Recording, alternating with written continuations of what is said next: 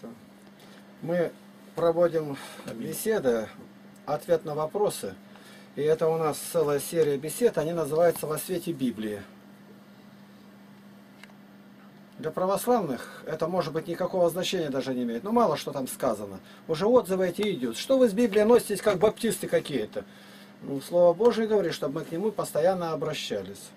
И поэтому какие вопросы идут, я рассматриваю на основании Библии. Если в этой святой книге этого нет, то разговор можно заканчивать. Чего нет в Библии, Златоуст говорит, о том не рассуждаем. Ну, вопрос ясный. Так, какие вопросы сегодня?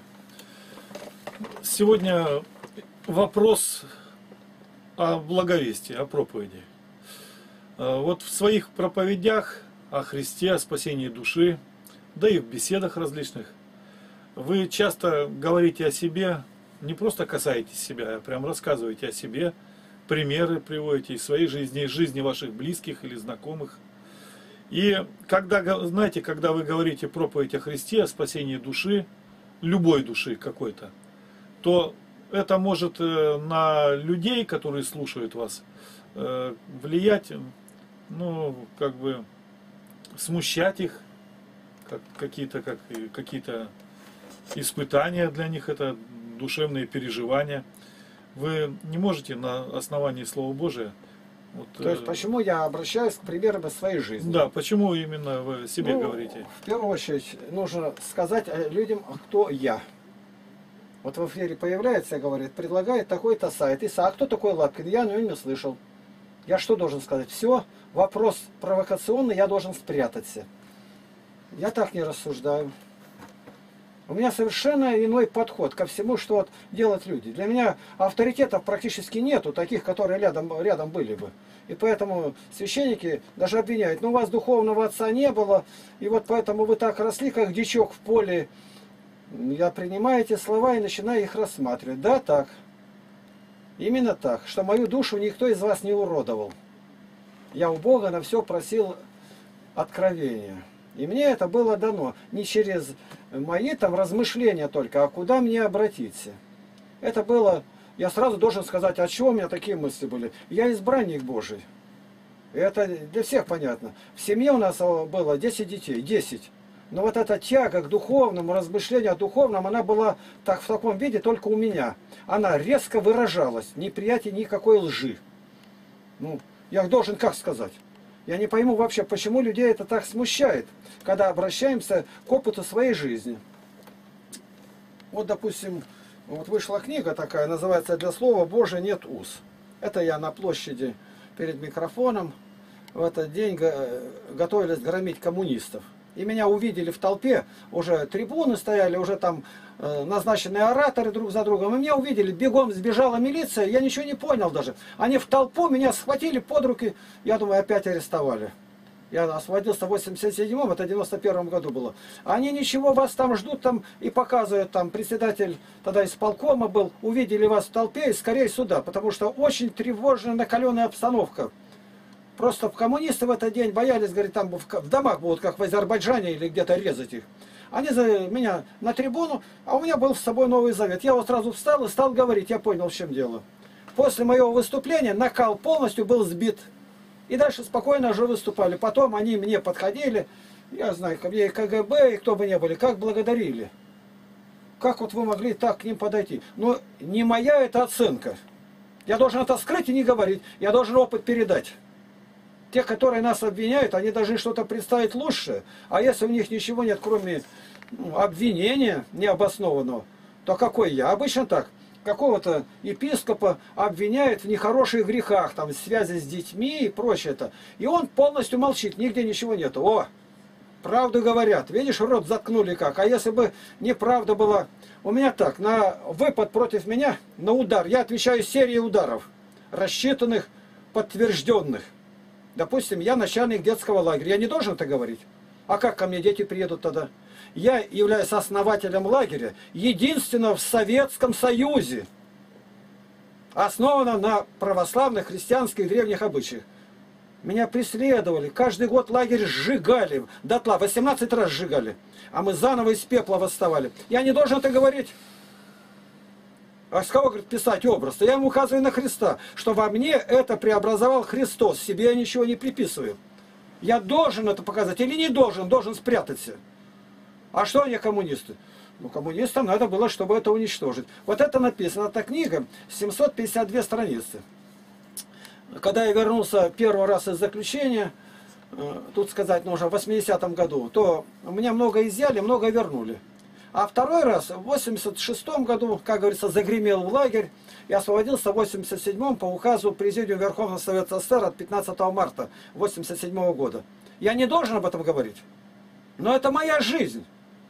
Я всегда становлюсь, почему так это их трогает? Вот, что бы я ни делал, я не должен говорить. Но здесь кто первый? Начал собирать материалы Николай Балашов. Священник, он по внешним делам церкви, патриарша, вот в деле объединения, как называют, о каноническом акте признания друг друга, он тут главнейшую роль играл у патриарха Кирилла, Алексия тогда еще. А второй здесь иеромонах второй, Нафанаил. И здесь это сборник документов. Документов. Фотографии везде. Вот я где обратился, это мои как бы духовные родители. Вот она стоит. Михаил и Анна. Они пятидесятники. Ой, да лучше бы не говорили, а то вас будут зазирать, вы сектант, и так вас за сектанта считает. Вы уж против мощей. Ну вот я сфотографировал, я помещаю. Когда я освободился, то был реабилитирован. Ну и по закону мне должны были предоставить мои дела, тома. Я сидел там каждый день, приходил и выписывал. Выписывал, а потом это все помещено здесь. Я выписал не то, где обо мне говорили хорошо свидетели на суде. В 86 году в Краевом суде. Все. Самые поганые, подлые, лживые обвинения от священства патриархийного. Я все поместил здесь. Я что сделал не так? У меня закавычено, взято в кавычки. Моя вина какая? Что, скрыть это надо? А чего вы боитесь? Я не боюсь. Я называю фамилии, кто меня посадил, кто докладывал, кто что писал. Там все в деле есть, до самой маленькой записки. Я все выписал. Я указываю, какой том моего дела и какая страница на обороте или где. В этом тоже обвинение. А вот вы говорите так, все пишете, к вам будут плохо относиться, дескать, это надо было загладить. Я не канонизирую себя. Когда людей канонизируют, то все, что кажется сомнительным, плохим, все убирает. Стилизует называется. Я абсолютный противник этого. Все как было. Я уважаю очень своих читателей. Поэтому поместил все. Какие у нас неурядицы, строящиеся с нуля православной деревни. Самое малейшее. Я в проповеди отражал это, для того, чтобы знали, куда приложить силы и как это дело положение исправить. А замазать все, что ни, ничего нет, у нас все хорошо, это у старообрядцев и у ЦК КПСС. Поэтому то и другое тонет на дне или разрушается. Нужно себя поставить во свет Слова Божия. Исайя 5.20. Если нет там света, то что там слушать-то, если не по Слову Божию? Поэтому все эти обвинения я уже слышал многократно. Но они меня почему-то совершенно не трогают. Я вижу, что это люди Бога не знают. Им разницы никакой нет. Уверуют люди, не уверуют. Я спрашиваю, а вы читали книгу «Житие протопопа Вакуума»? Им самим написано. Заголовок на корочке. Ну, читали, так а разве житие сам человек пишет? Я говорю, книга, пока подождите судить-то. Ну а как по-другому? Она была бы, может, по-другому названа. Что бы мы знали из того времени, это древнейший, ценнейший материал. Ну, слово о полку Игорю-то ничего нам не говорит. А это христианин. Вот поставил и достали э, раскол. Там и были, видимо, и те, которые рецензировали, были советники какие-то из старообрядцев. Там показано все как есть. На основании его книги. Он бы не писал, ничего не было. Даже пустое топорище, он там сидел, выдал был, и туда закладывал. А эти ехали, обыщут, ничего нет, тут топоры с собой у кучера. Там внутри топорище было. И это мы знаем. И как он шел, и как падал, и что говорила жена. Все написано. Что Анастасия Марковна ему говорила? Да Коля, до самой смерти Марковна. Это в поговорку вошло. А теперь в книгах пишут, знаете, ваша биография, вы как Солженицын, такой же неуступчивый, так же вот идете. Меня это не касается, на кого я похож. Я знаю, что скрывать свою жизнь грех. А которые завидуют, это от зависти люди говорят, они желают, чтобы нигде ничего не было известно. А как? Продали в рабство Иосифа, и все. Одежду кровавую показали. А он не боялся, фиксировал, как он был, какие сны видел. А за это время, когда он был, про братьев 11 ни строчки не написано. Почему? Да ничего и нету там. Им писать нечего. А про него ставят фильмы сегодня, как обвинила его жена, как он показал целомудрие, как он э, в тюрьме страдал, кому какие слова сказал, прямая речь. Кто это дал-то? Не братья же это. Это он сохранил сам. Он написал свою автобиографию. У баптистов, кто сидели, вот Азаров, Михаил, Николай Ерофеевич, Бойко. Это целые книги вышли. Почему их не обвиняют? Как он был, как пошел на двор, как бумажку нашел. Он даже об этом пишет. А на бумажке смятый очень наш, и он обратился. А как по-другому мы бы узнали? Почему меня в этом обвиняют? Я спрашиваю, в чем моя вина, если я рассказал, как это было? Вы это не делаете. Я говорю, да сегодня такое время, сейчас ничего нельзя сделать. Я говорю, неправда. Неправда. Все считали, что рухнуло царство. И Давида нет, Давид умер, поплакали, и все. Ничего подобного. У него премудрый сын будет, и далее я решил, я думал, и постоянно, читайте Экклесиаста, на одном я вся построена книга. Развел сады, завел певиц, я, я. Почему? А как по-другому узнали бы? Вот этот дух коллективизма сюда мы домыкались. Нужно уметь брать ответственность на себя. Да, я начальник лагеря, я его основатель. И поэтому все удары принимаю. Меня в один год только три уголовных дела против меня завели. И все рухнуло. Я подал в суд, все процессы выиграл. Московский комсомолец, там профессура, еврейская организация ВНЗР, КПРФ. Это все против меня одного. Я показал образец вам, выстоять можно. Так мне руку вот так жали краевой администрации, краевой прокуратуре. Мы никогда не думали, что вы выиграете эти процессы. Против кого? ГТРК. Они Москве подчиняются. Там такая вол... уже не волосатая, а рогатая рука. И ничего не могли сделать. Почему? Мы все молились. И все отступило, отхлынуло. Им нужно было уничтожить лагерь. Через санэпидемстанцию, что ничего не получилось. Теперь пример. А вот вы любите судить, сосутяжничаете, да? Они меня вынуждают, и мне это не запрещено ни, суди, ни канонами, никак. Павел говорит, требует суда кесаря. Иосиф говорит, напомните фараону, что я не вину там. Я вот где сижу сейчас, это два домика, я выиграл. 11 лет шел суд, и я его выиграл. Благодаря тому, что есть Верховный суд РСФСР, Верховный суд СССР, да у него есть президиум Верховного суда. И благодаря президиуму, который все дела отменил, и заново начали рассматривать. А у меня 11 миллиардов было в иске.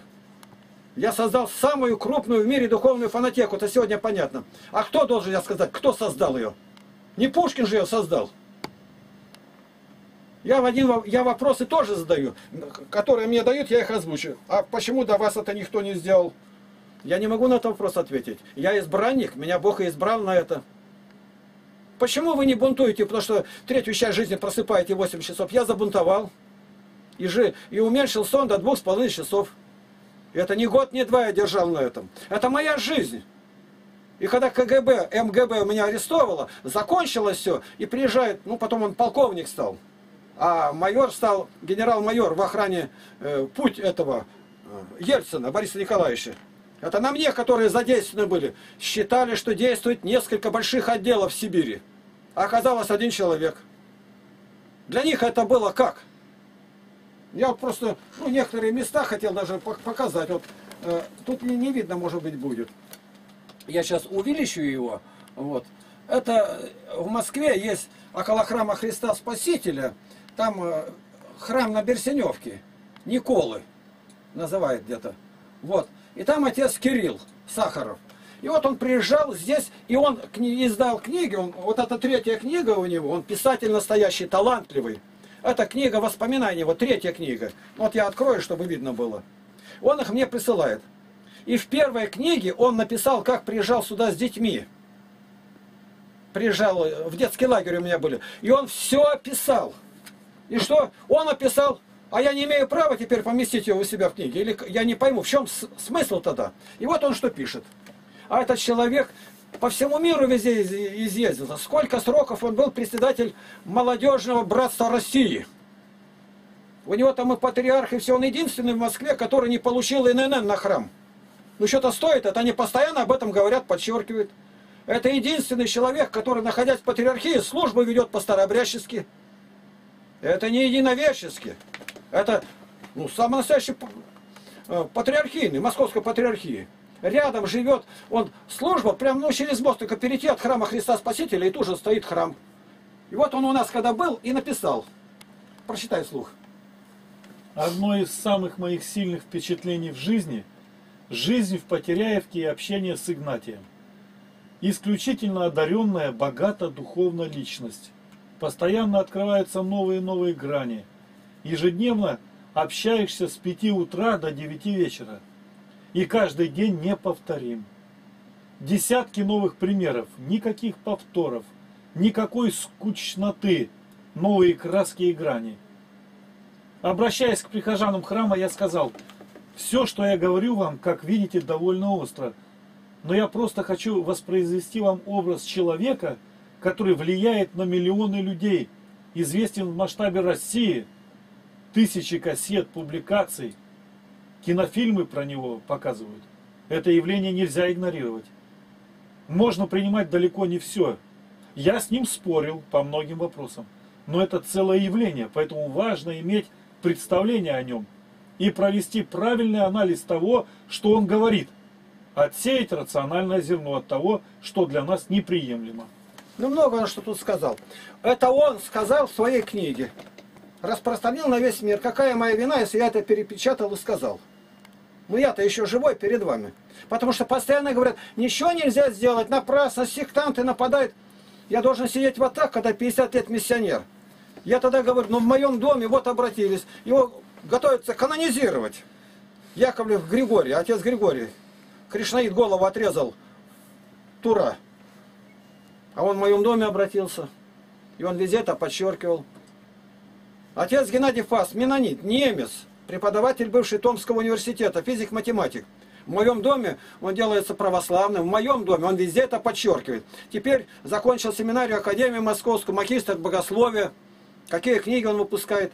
Какая моя вина, если я об этом говорю? Показываю. Ну, конкретно, в чем, в чем вина? То они обратились? Нет. Или говорить об этом нельзя?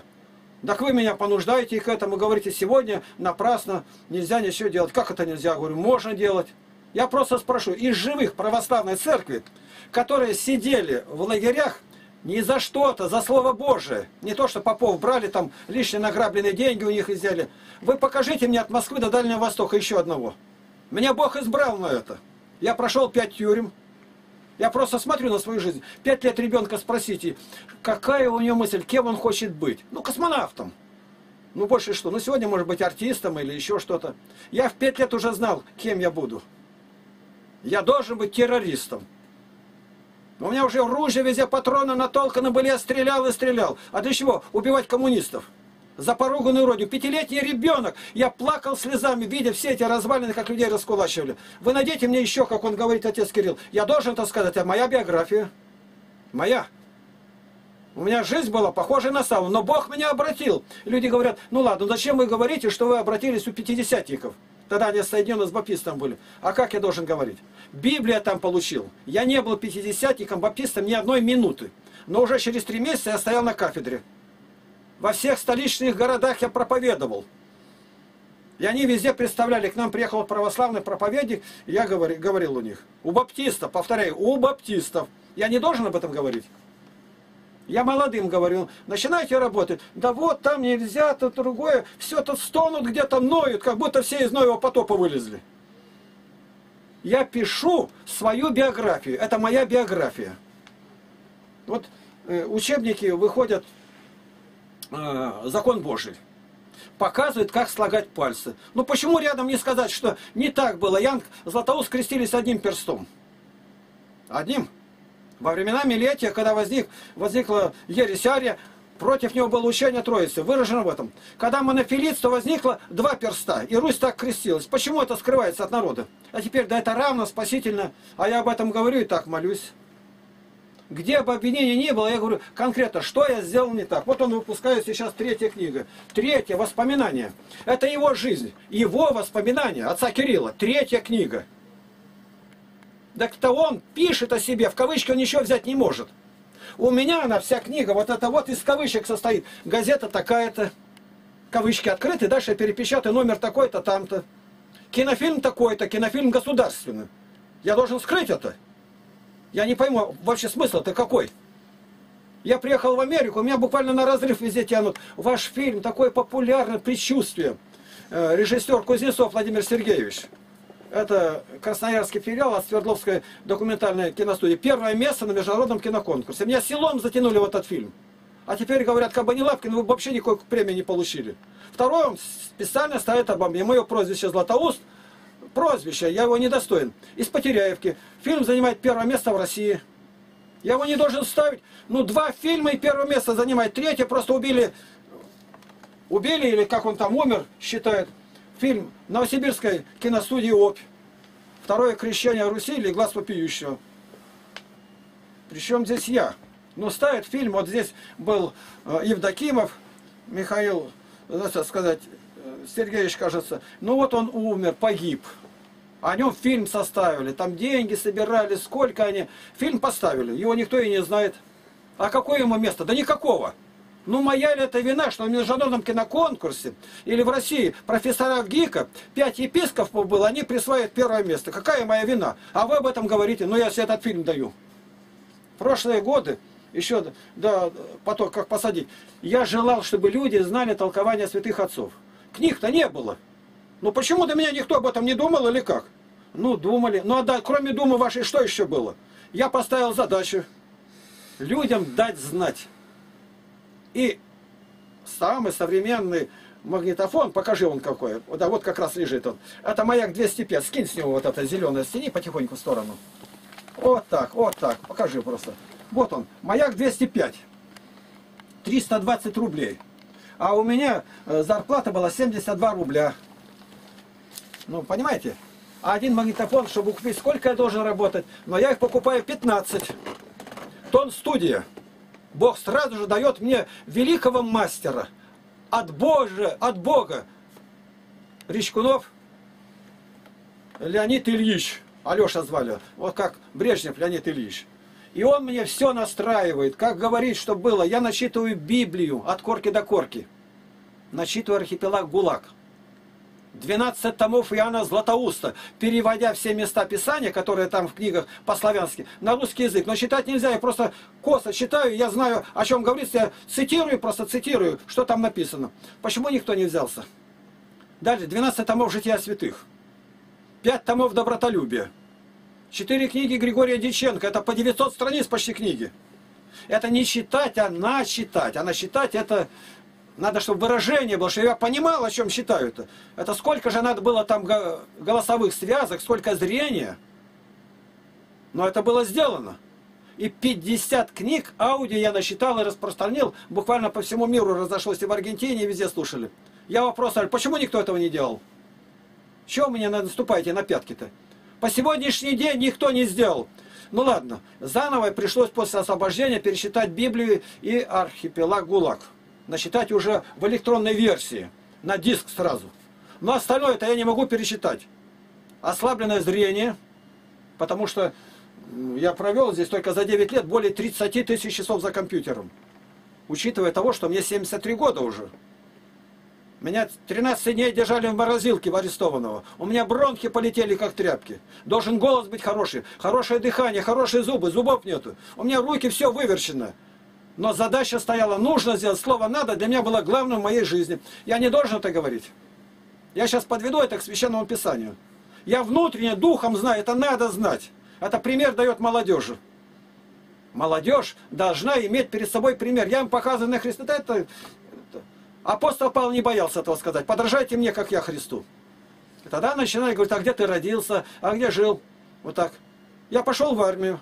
И за время службы в армии свободно научился, изучил английский, немецкий, французский. Вы мне покажите, кто во время службы это делает. Три года потеряно, у меня четыре года, подводный плод был, ни одной минуты не потеряно. И изучил за это время все политические системы мира. Сгодится. Одной минуты зря не было прожито. Все это потом сгодилось. И уже после освобождения я далее уже работаю с книгами. Мне показали 21 октября 2001 года, как компьютер включать и я издал, он может показать, 38 книг. И три еще в интернетной версии. Они все в интернете, эти книги. На нашем сайте Народ.ру. Я не должен говорить об этом. Но какие книги? В каждой книге это 752 страницы.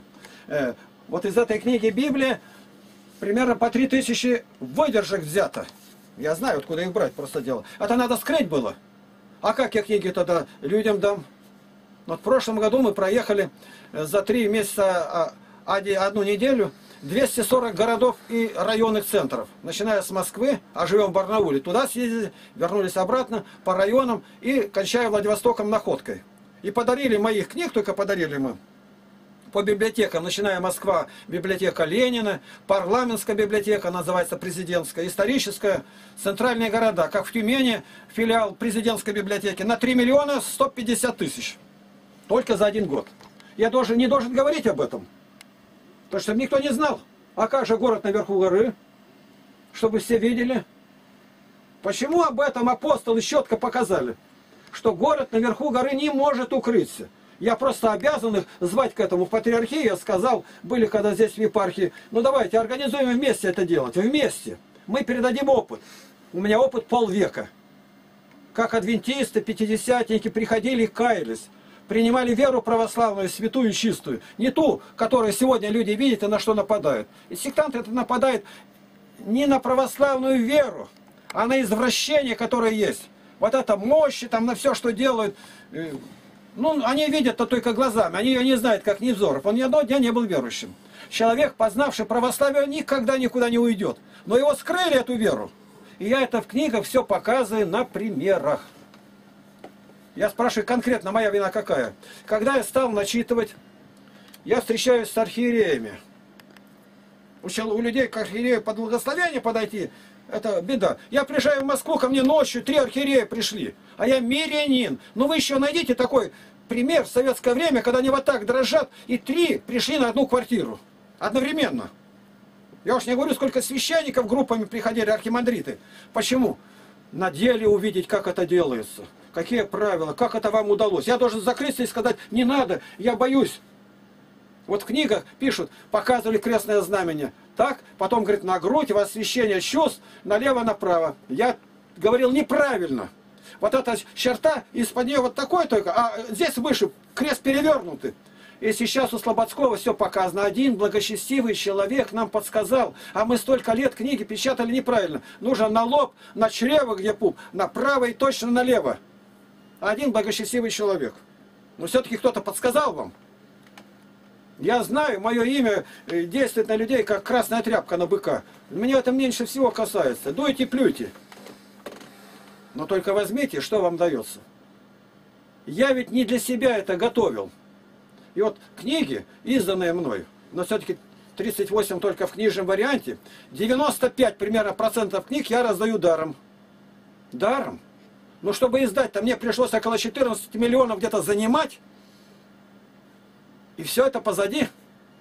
Вот сейчас ехать не было я машину. Господь мне дает, прямо говорится, с неба.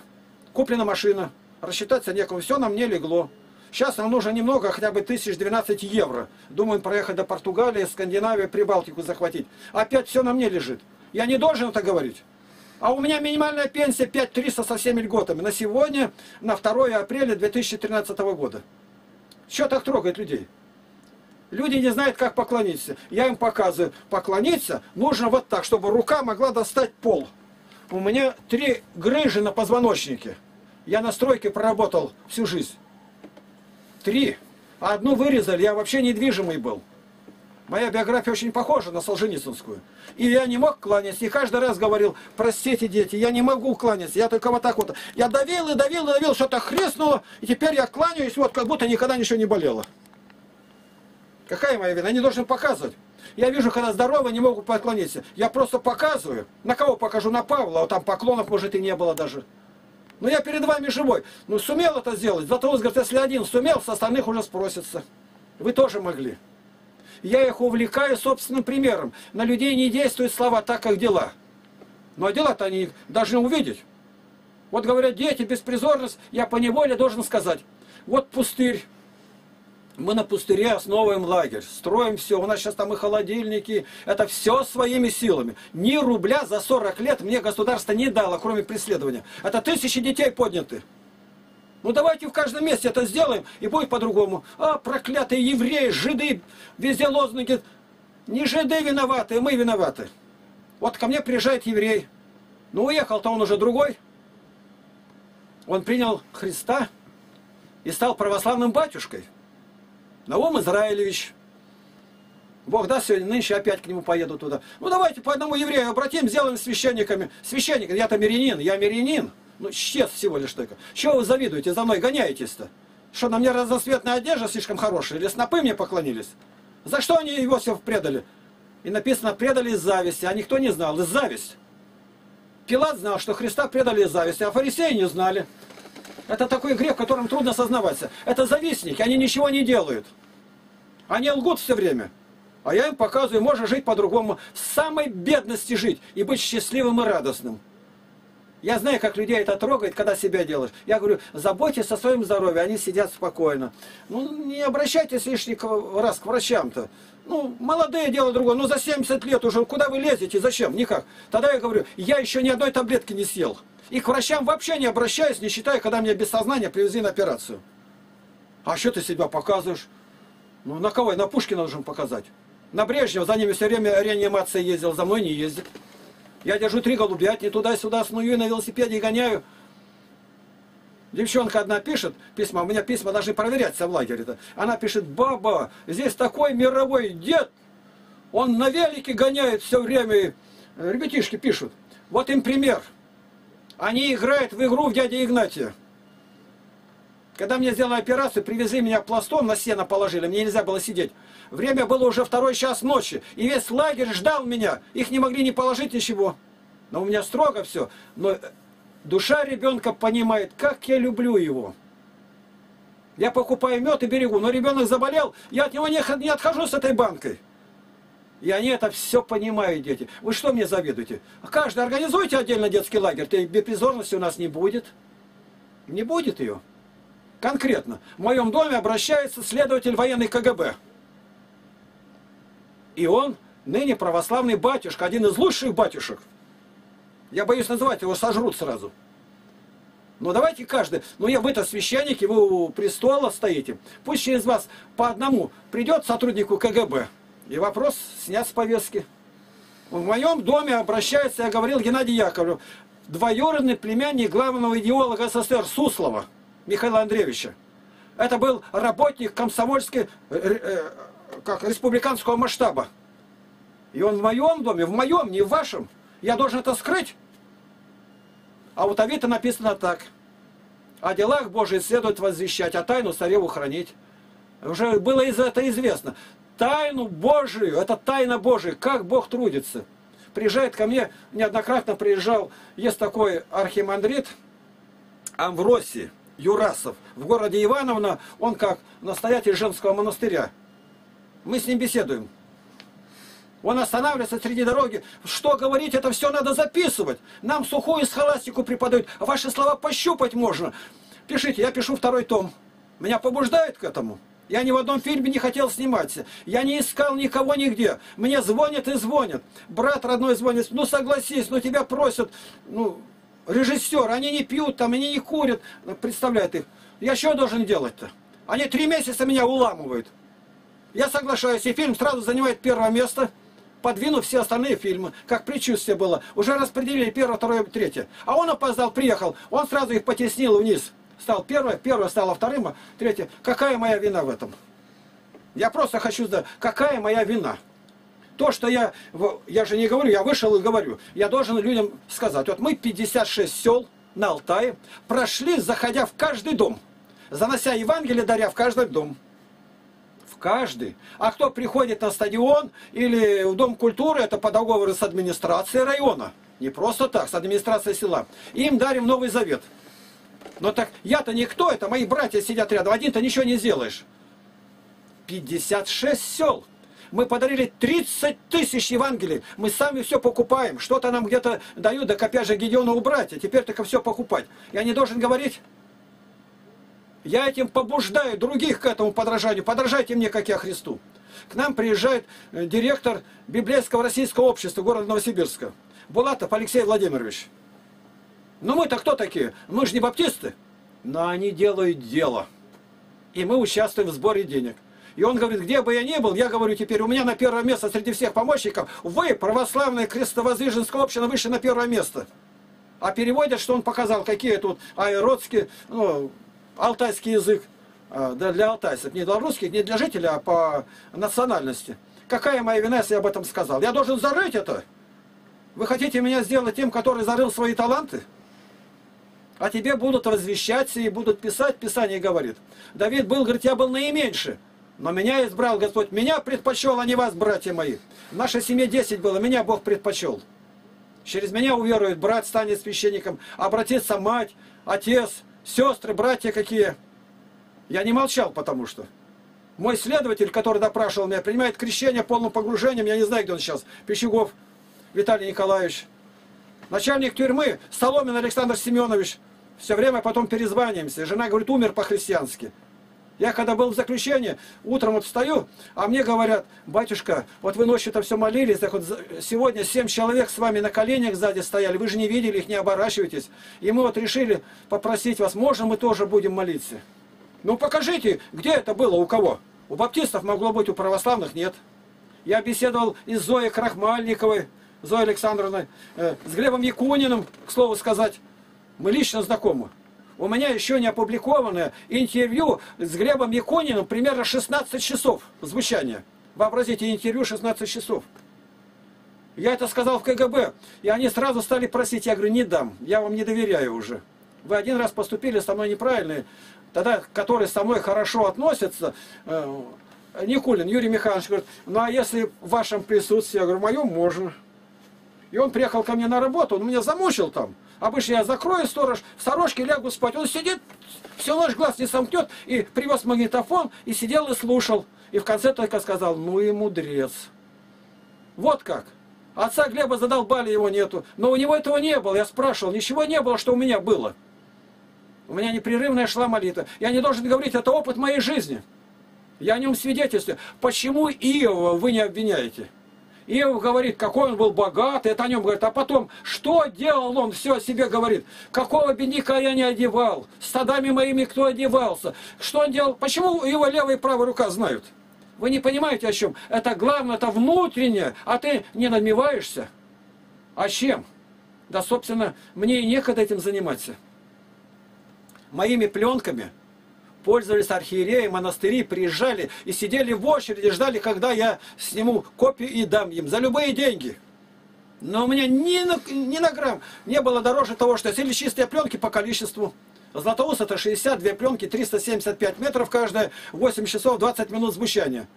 Ну давайте, кто слушает это, кто это сделал? Проспали Россию. А если бы все делали, как я, наверное, по-другому было бы. Я почему должен молчать об этом говорить? Меня Бог избрал. Я все сказал в пророческом духе, ничего не прибавляя. Это моя жизнь, моя. Вот священники сидят, развалившись, говорят, а разлепешились в благочине. И не знают они уже, как надо мной поизгаляться. Я помню, Бурдин, отец Александр, прекрасный человек, благочинный там Красноярского края, местный благочинный Войтович, отец Николай Павлович. Не придирайтесь, только что называю Павлович, скажет, но отца Николая так... Но я говорю, чтобы знали, что это не ошибочно. А вот вы начитали, а теперь вас везде слушают, даже в Австралии, в Южной Америке, а к вам гордость не подходит. Это, понимаете, они о моей гордости заботятся. Пользуются мои материалы, недоспанные ночи, мое здоровье – и он же надо мной еще и изгаляется. Я делаю вид смиренного человека, конечно. Внутри-то, конечно, у меня не то бывает. Думаю, эх, вы, отцы, да если бы вместе-то мы объединились, сколько бы мы могли сделать? Но мне нельзя слова сказать им. Они меня, говорят, не жуя выплюнут. Но у всех мои пленки. И когда он заказывает, я из разных журналов перезаю картинки, надписи, тогда ничего не было, чтобы показать. Свет во тьме светит. И приклеить туда. Каждая обклеена с трех сторон. И ему в руки дается да ведь из того, что мы делали, это около 90% делали даром. Покупали магнитофоны. И дарили бабушкам, и в разных местах слушали. Кто этим занимался?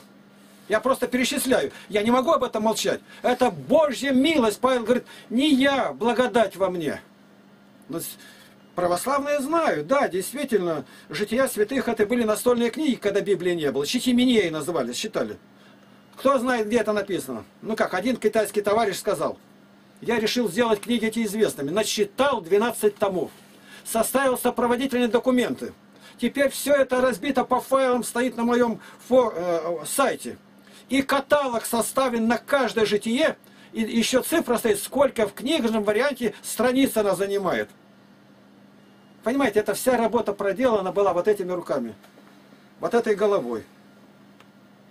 Никто не насчитал, только моим голосом. Какая моя вина в этом?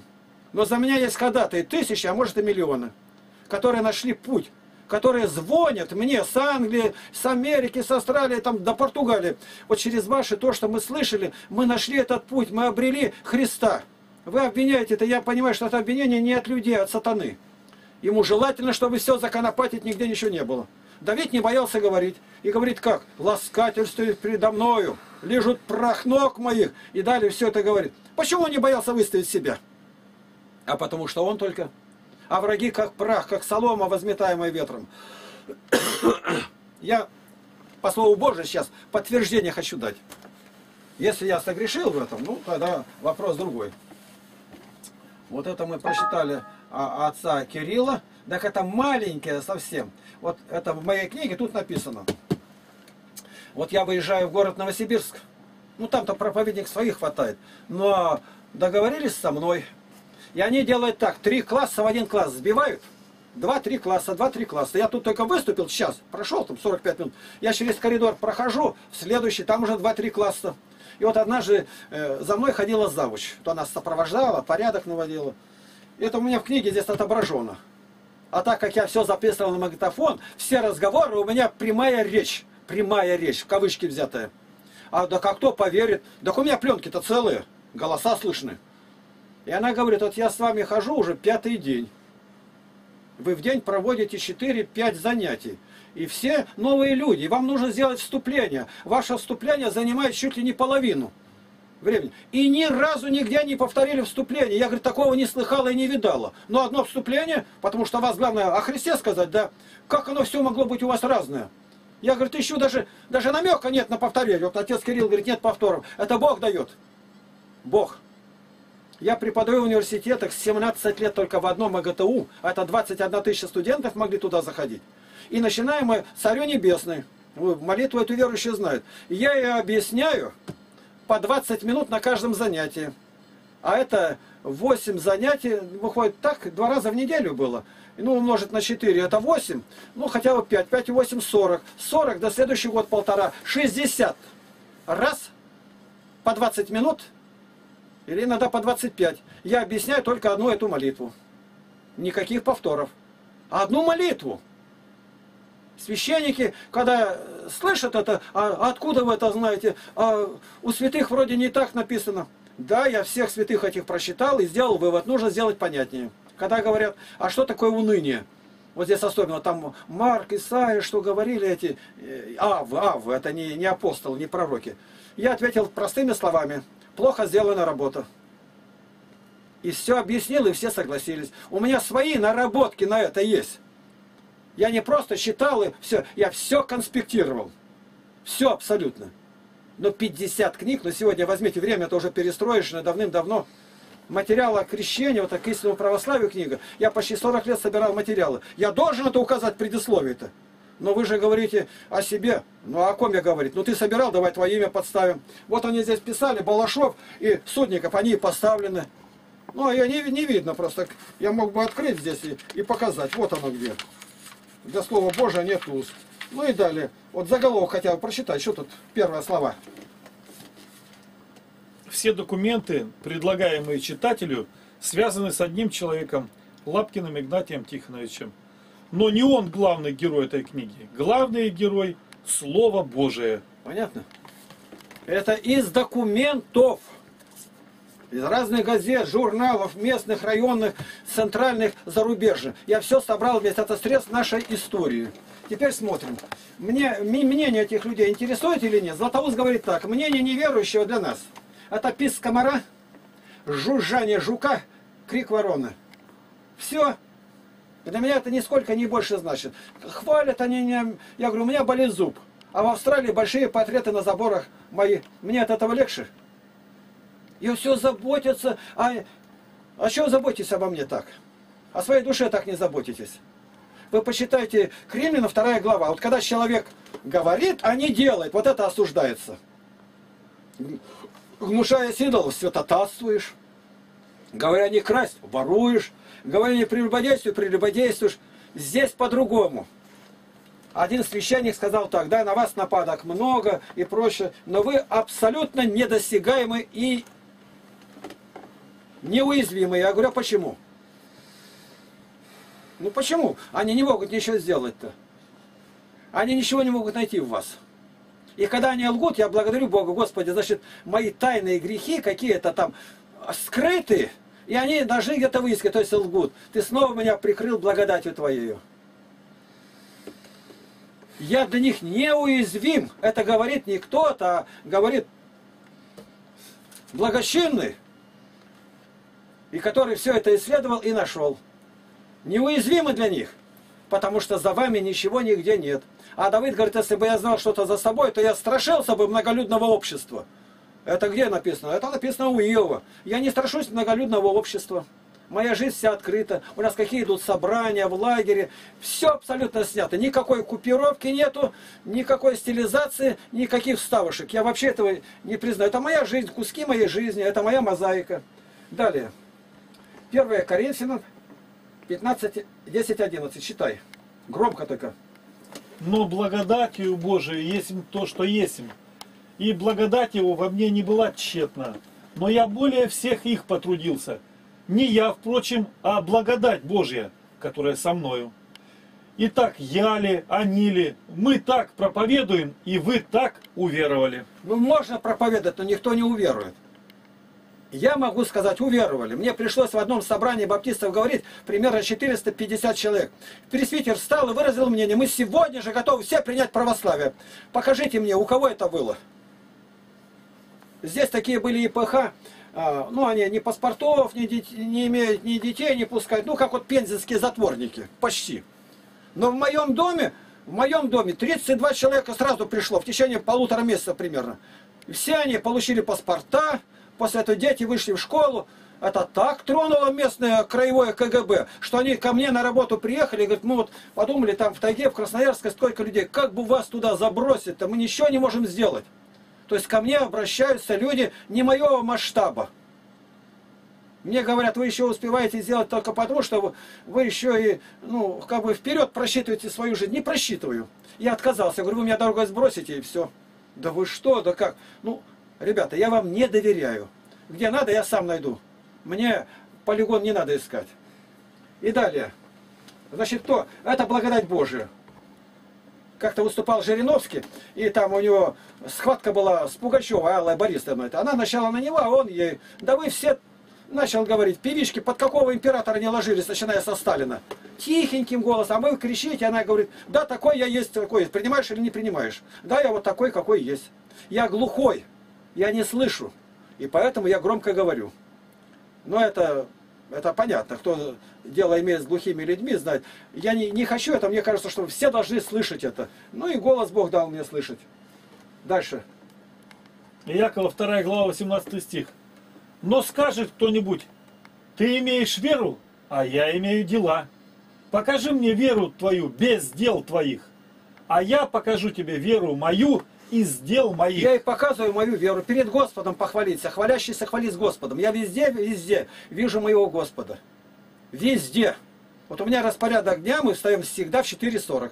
И кто бы где ни был, все это наши люди. Я показываю, что это делает Господь. Симфонию на жития святых, почему до меня никто не составили?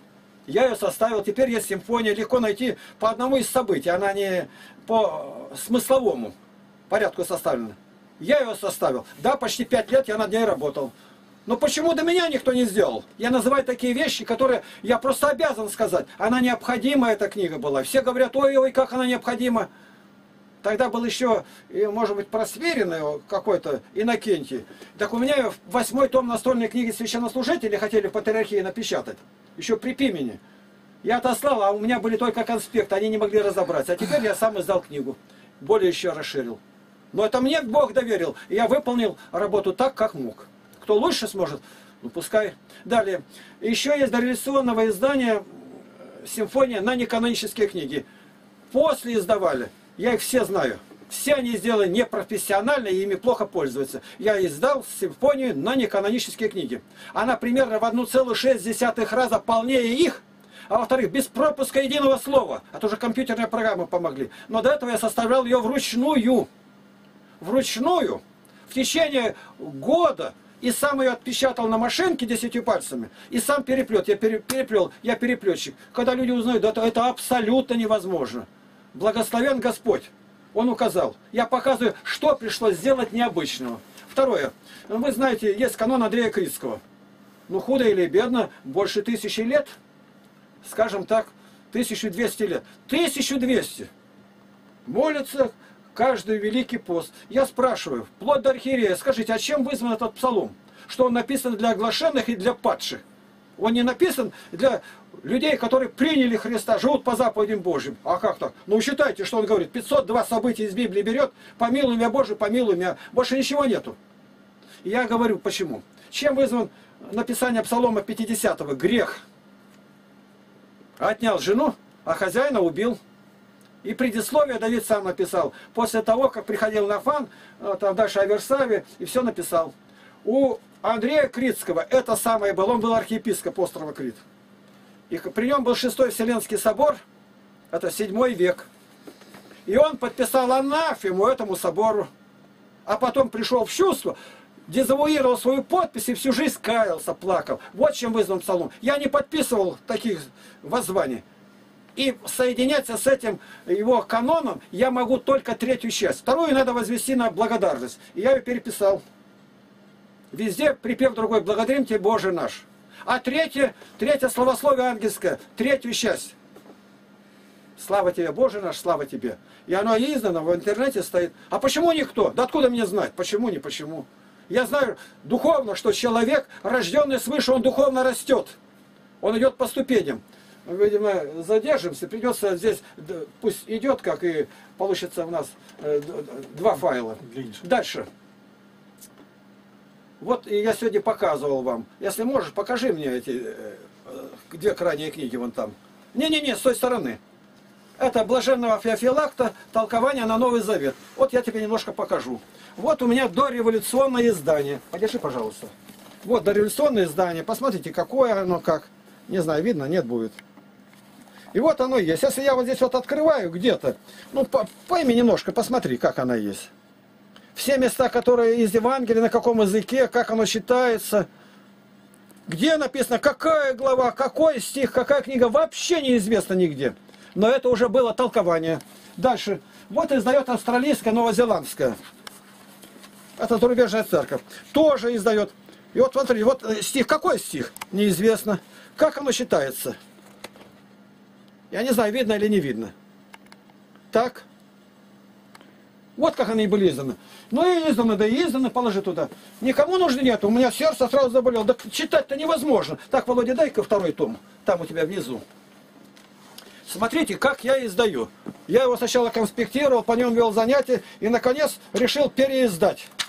Переиздать, при том в самом лучшем варианте. Сегодня скажу по восьми параметрам, она лучшая во всей мировой практике. Впервые за 2000 лет вышло в одном, в одном комплекте трехтомник по 752 страницы с толкованием откровения. Вот оно как. Любое место, как оно выглядит, видно где взять, откуда, жирным курсивом. И кроме того, я сделал 297 комментариев. Высветил те места, где говорится о необходимости изучения Слова Божия и проповеди. Положи. Мне говорят, ну это все-таки уже 900 лет назад было. Почему никто этого не сделал? Меня замучили этим почему? Я никогда об этом не задумывался. Я знаю, нету и должно быть. Все, я приступаю к работе. Никто не идет из православных благовествовать. Мы проехали столько, едем сейчас по Европе, Прибалтике, опускаемся к южным республикам. Да к там убить будут. Я хочу к Рамзану Кадырову попасть, к Папе Римскому, в английскую библиотеку центральную, в Сюрихскую, где Ленин сидел. А может быть, кто-то и примет. Может быть. Уже сегодня мне сообщают, собирают людей в разных странах. Договорятся со священниками вплоть до епископа. Какая будет встреча с диаспорой, с нашей русской. А почему этого никто до вас не делал? Я говорю, вопрос, вот я уже много раз отвечал. Не знаю. Не знаю, я просто молюсь. Я вот прочитал 118 псалом, 164 стих. Семикратно в день прославляю Тебя за суды правды Твоей. Для меня этого достаточно было, чтобы я не менее семи раз каждый день молился. Это три святое и сто поклонов со всеми нуждами, всем святым, но я православный-то. Не менее семи раз, но иногда бывает 18 и 20 раз. Это должны быть ночные дневные молитвы. Да кого этим хвалитесь? Я хвалюсь моим Господом. Ты попробуй вставать в определенное время с точностью до минуты без будильника. Когда тебе на молитву нужно поднять. А у меня это в тюрьме было. Ни разу не проспать. А лампочка горит круглые сутки. Это было удивление для всех стражников. Для охранников, их дубаками называют там. Охрана для всех заключенных. Просто одно, что в 8, 10 отбой, а в 8 мертвая тишина в камере, 60-70 человек. Два-три человека не курящие, моют тщательно руки. Даю Новый Завет. И ни один не закурит. До этого старший по камере, там пахан за этим смотрит. У меня не просто уважение от них, как доктору Гаазу было. Меня захватывали с ножами. И обязательно Бог восставлял и среди них, говорит, да это он, тогда задержали нас, он помог нам и прочее, прочее. Это моя биография. Но вы хотите подражать, подражайте, выходите сегодня. Вот мы знаем, погибло за последние 15 лет 17 тысяч поселений российских. Это потеря страны. Здесь выступала депутат от а КПРФ Нина Данила. Она говорит, это не просто из реестра администрации вычеркнут поселок, это потеря территории страны. Она пустой не будет. Тут будет другие с юга, красивые чернобровые. Здесь будут китайцы, кто угодно. Мы взяли участок земли и с нуля начали восстанавливать. Но вот пять условий должно быть поселяющихся. Доказать должен, что не лжет, не пьет, не курит, не матерится, не ворует. Я вот краевой администрации сказал, они говорят, так у нас тут ни одного такого нет. И курят, и матерятся, и женщины. Моя ли вина, что вы этого не делаете? Делайте. У меня стояла задача, я к ней приступил, благословлясь у Бога. Невозможного никогда не, не было. Почему? Яко с нами Бог. То есть с нами Бог. А большинство там, где Бог. Я просто рассказываю конкретно. Вот они злобятся. Я показываю, вот за 9 лет издано столько книг. Это библиотека целая. Ну вы покажите, здесь, за рубежом, где-нибудь, у кого-нибудь, у сектантов, у православных, был такой наплыв материала. А сегодня архиереи даже берут книги, когда да, к истинному православию, это настольная книга для священнослужителей. Это мне Бог дал. Я должен скрыть или что я должен сделать? Или не дождетесь, когда я помру? Мартин Лютер сказал папе, говорит, как тебе будет меня не хватать? Это я говорю ко всем, которые преследуют сегодня. Читаем дальше. Я покажу тебе веру из дел моих. Я показываю и сделал, значит, можешь показать ее? И сделал, показать ее надо. Я и показываю. Я бы был не таким, я бы давно умер, как бы не мой Господь. Мой Господь. Вот я поступил в высшее мореходное училище, сразу же добился разрешения сдать три курса за год, за один год. По выбору комиссии на одном из трех иностранных языков. Ну теперь покажите, у вас было это или нет? Да это не мое, у нас в школе иностранного языка не было, вообще не было его. Нуль. Это с нуля все Бог дает. Я должен сказать, Господи, мне это не надо, я ухожу. Я не могу так. Я уже за грань перешел. 73 года мне. И поэтому вот эти разные нападки, я скажу, как же Пилат знал, что предали из зависти, а вы не знаете? Вы завистники, и вы этого не знаете. За мной как киллеры охотятся, не пьют и не едят. Но они опаздывают, потому что когда они приходят сюда, я уже в третьем месте нахожусь. Я в городе преподаю в десятках школ, в пяти университетах, во всех отделах милиции, пять отделов, шестой краевое, э, городское УВД и краевое. И приезжают только за мной, больше ни за кем. Они заказывают тему, допустим, об экстремизме. Это 700 офицеров бывает, прокуроры, я перед ними выступаю. Когда разрешили Библию приносить, я лично, Бог мне дал это. Доставать Библии, я наводнил буквально все организации, ни копейки не добавляя. Почти в 10 раз дешевле стоимости, которая в церкви. И сегодня мне везде руку жмут и прокуроры, и милиция. Мы все это через вас услышали. Отдельно собирают завучи, директора школ, Горано, я перед ними выступаю. Где вы были в это время? Во всех воинских частях, моя работа, во всех заводах. Э, ЛТП тогда было, там решили. Э, в тюрьмах, какие есть, в лагере, в КГБ, в прокуратурах. Я считаю, больше меня никто не проповедовал вот за эти, за эти годы. Никто. Все техникумы, это все мое было. Так, а за мной в это время гонялись местные. от епископа приносят бумагу, чтобы меня выкинули. Но ничего, опять же, не получилось, кроме позора. Им говорят, возьмите другую аудиторию. Мы вам не, от, не отказываем. А зачем выгонять? Он у нас уже 16 лет преподает. И притом бесплатно. Я веду бесплатно. Что я перечислился в начале детского лагеря, я нигде ни рубля не получаю. И голодным не ложусь. И никакому Березовскому я не завидую. Я только жалею, что он Бога, если умер, не знал. Какое горе-то! Весь мир приобрел, а душе повредил. Какой выкуп дашь за душу свою? И далее считаем. 1 Коринфянам 4 глава 16 стих. «Посему умоляю вас, подражайте мне, как я, Христу». Ну тут понятно, что он надеялся, что он поступает как Христос. А зачем умолять? Умолять-то зачем? Не осуждайте меня, что говорю, а я умоляю вас, подражайте мне. Вы можете это правило сказать? Вот то-то и оно. Я это могу сказать. Я скажу только самое маленькое вам. Вот сегодня здесь в интернете иногда бунтует. Но адвентисты седьмого дня свидетели Иеговы правы. Должна быть десятина. В храме не должно быть торговли. Вам это никак не понятно? Мне это понятно было в первый день, когда я обратился ко Христу через Евангелие 27 сентября 1962 года в 17.00. А работал в это матросом, учился в училище высшем мореходном. Мне это понятно было. Я только один раз услышал тогда, а что десятина? Десятая часть заработанного. У меня заработок 100, десятку нужно отдать во имя Христа. Я сразу решил, буду отдавать 90, 9 десятин. И 50 лет я прожил в этом накале. У меня ничего нету. Я сам трехэтажными вот заплатами начиняю, вот он, я перед вами весь здесь. Это не, я не просто бромирую этим. Это моя просто жизнь, я нормально. И летом я иду по городу босиком. Босиком совершенно, ни носков, ничего нету. Иду по городу, в краевой администрации, меня везде принимают. А что у вас так? Обуви нету. Да есть обувь, мне так интереснее. У меня валенки, притом разные цветом. Я, ну, серый, а другой черный. Ну, один износился, а другой там сохранился. Я зайду первым делом в снег, их потру снегом, чтобы някого, а дальше шпарю по городу. Ботинок нет. И который видел вот Балашов этот, он все это описывает. Все в этой книге. Почему он говорит уникально? Я не считаю в себе ни уникальности, ничего. Я живу так, как есть. Один из примеров. Я как-то зашел в краевой суд, а председатель его Пашков Виктор Иванович, генерал-майор. С ним рядом находится э, прокурор края, генерал-лейтенант. Дальше генерал-лейтенант на управляющий дело, отдел юстиции. Я зашел к ним, а как раз сабантуйщик был, день рождения одного из них. Они говорят, а мы только сейчас разговаривали, был здесь мэр города, Баварин входящий в десятку лучших мэров России. Мой друг, могу назвать. И мы, говорит, только что о вас говорили. На дне рождения генеральные, первые лица края, края, и они обо мне рассуждают. Моя вина в этом, нет? Я говорю, а в чем, а о чем мы говорили? Да более счастливого человека мы просто не знаем. Я говорю, а как вы определили? Почему? Вы делаете то, что вам нравится.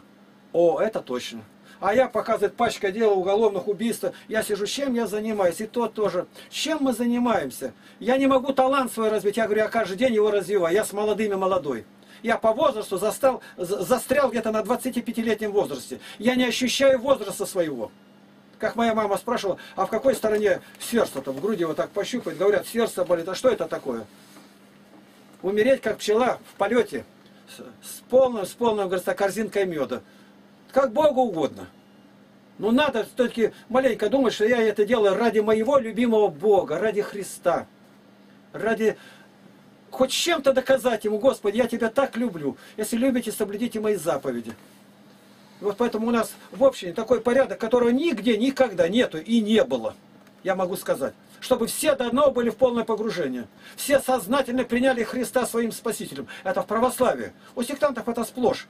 Но там другой вопрос. Неправильно крестят, они не рукоположены. Мы находимся во Вселенской Православной Церкви, к той части принадлежим, которая приняла каноническое общение. Наш батюшка служит Московской патриархии, они у нас, мы не раскольники, никто. Но мы со многим не согласны. Не согласны, что не сходится с Библией. Они не идут на благовестие, самое главное. Они делают совершенно не то. Вот эти плесуни там в храме Христа Спасителя. Их трогать пальцем нельзя было. Они не понимают, содействовали или безразличие их посадили. Зачем? Храм надо было закрыть на три месяца, как оскверненный. Согласно Слову Божию, он вел Трофима оскверненный. И далее три месяца молиться со слезами денно и ночно. Запрудить всю площадь, площадь там рядом. Все было бы по-другому. Меня когда спрашивают, а вот избрали его патриархом, что бы вы делали? Ну, первым делом прекратил строительство храмов. Всех до одного. Заморозить стройку. Все деньги, которые освободятся, бросить на издание новых заветов. И в первый же день, я сегодня патриарх, имя свое не менял бы, я в честь Игнатия Ростовского чудотворца 10 июня по-новому. А имя мое стали бы Игнатий Богоносец в честь его. Первым делом я открыл бы тысячу училищ в один день. Так преподавателей нету. К баптистам обратился бы. Там нашлись бы, знаете, какие там проповедники чудеснейшие, которые нигде бы подписку дали, не будут трогать православную догматику Божьей Матери Иконы. Вот как поступил. У меня программа на каждое дело есть. Ну, не востребованный. И далее, второй раз Павел говорит. 1 Коринфянам 11 глава, 1 стих. Будьте подражателями мне, как я Христу. Почему это ни Петр не говорит, ни Иоанн, никто? Вопрос, почему? Ну почему никто после этого не сказал ни разу? Почему он мог это сказать? Я ни разу этого не сказал. Нигде. Но я все время туда скашиваю глаза. Я бы записывал все, что делает Павел, как он встает, через сколько дней он вкушает, как он ночью встает. Все бы записал. Записал. У меня магнитофон есть. Дальше. Второй раз сказал. Видите, переписан пишет. 3 глава 17 стих. «Подражайте, братья, мне, и смотрите на тех, которые поступают по образу, какой имеете в нас». Ну, тут уже вплотную ко мне подходит. Не только Христу подражать, но и тем, которые так поступают. Ну, смотрите на мою жизнь, тоже можете подражать. В чем-то. Повторяю, в чем-то. Апостол Павел говорит, я для всех сделал совсем, чтобы приобрести некоторых. По крайней мере, некоторых. Я за всю жизнь ни одного еще не встретил человека, который бы выполнил это. Мне это дано.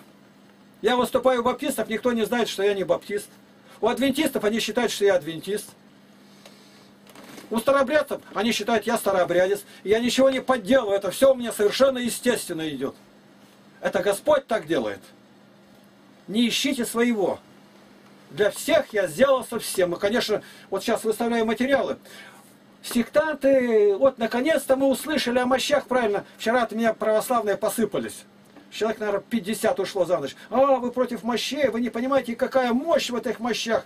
Ну, ну не, не терять же дружбу-то. Я доказательства сделал. Они не могут доказать, почему у патриарха рука отсохла, когда взял волосы на память у Семена Столпника. А там не так написано может. Так у меня в кавычки взято, дорогие. Я все в кавычки беру. То есть копирую из жития святых, которое перезала патриархия, может быть, лет 7 назад.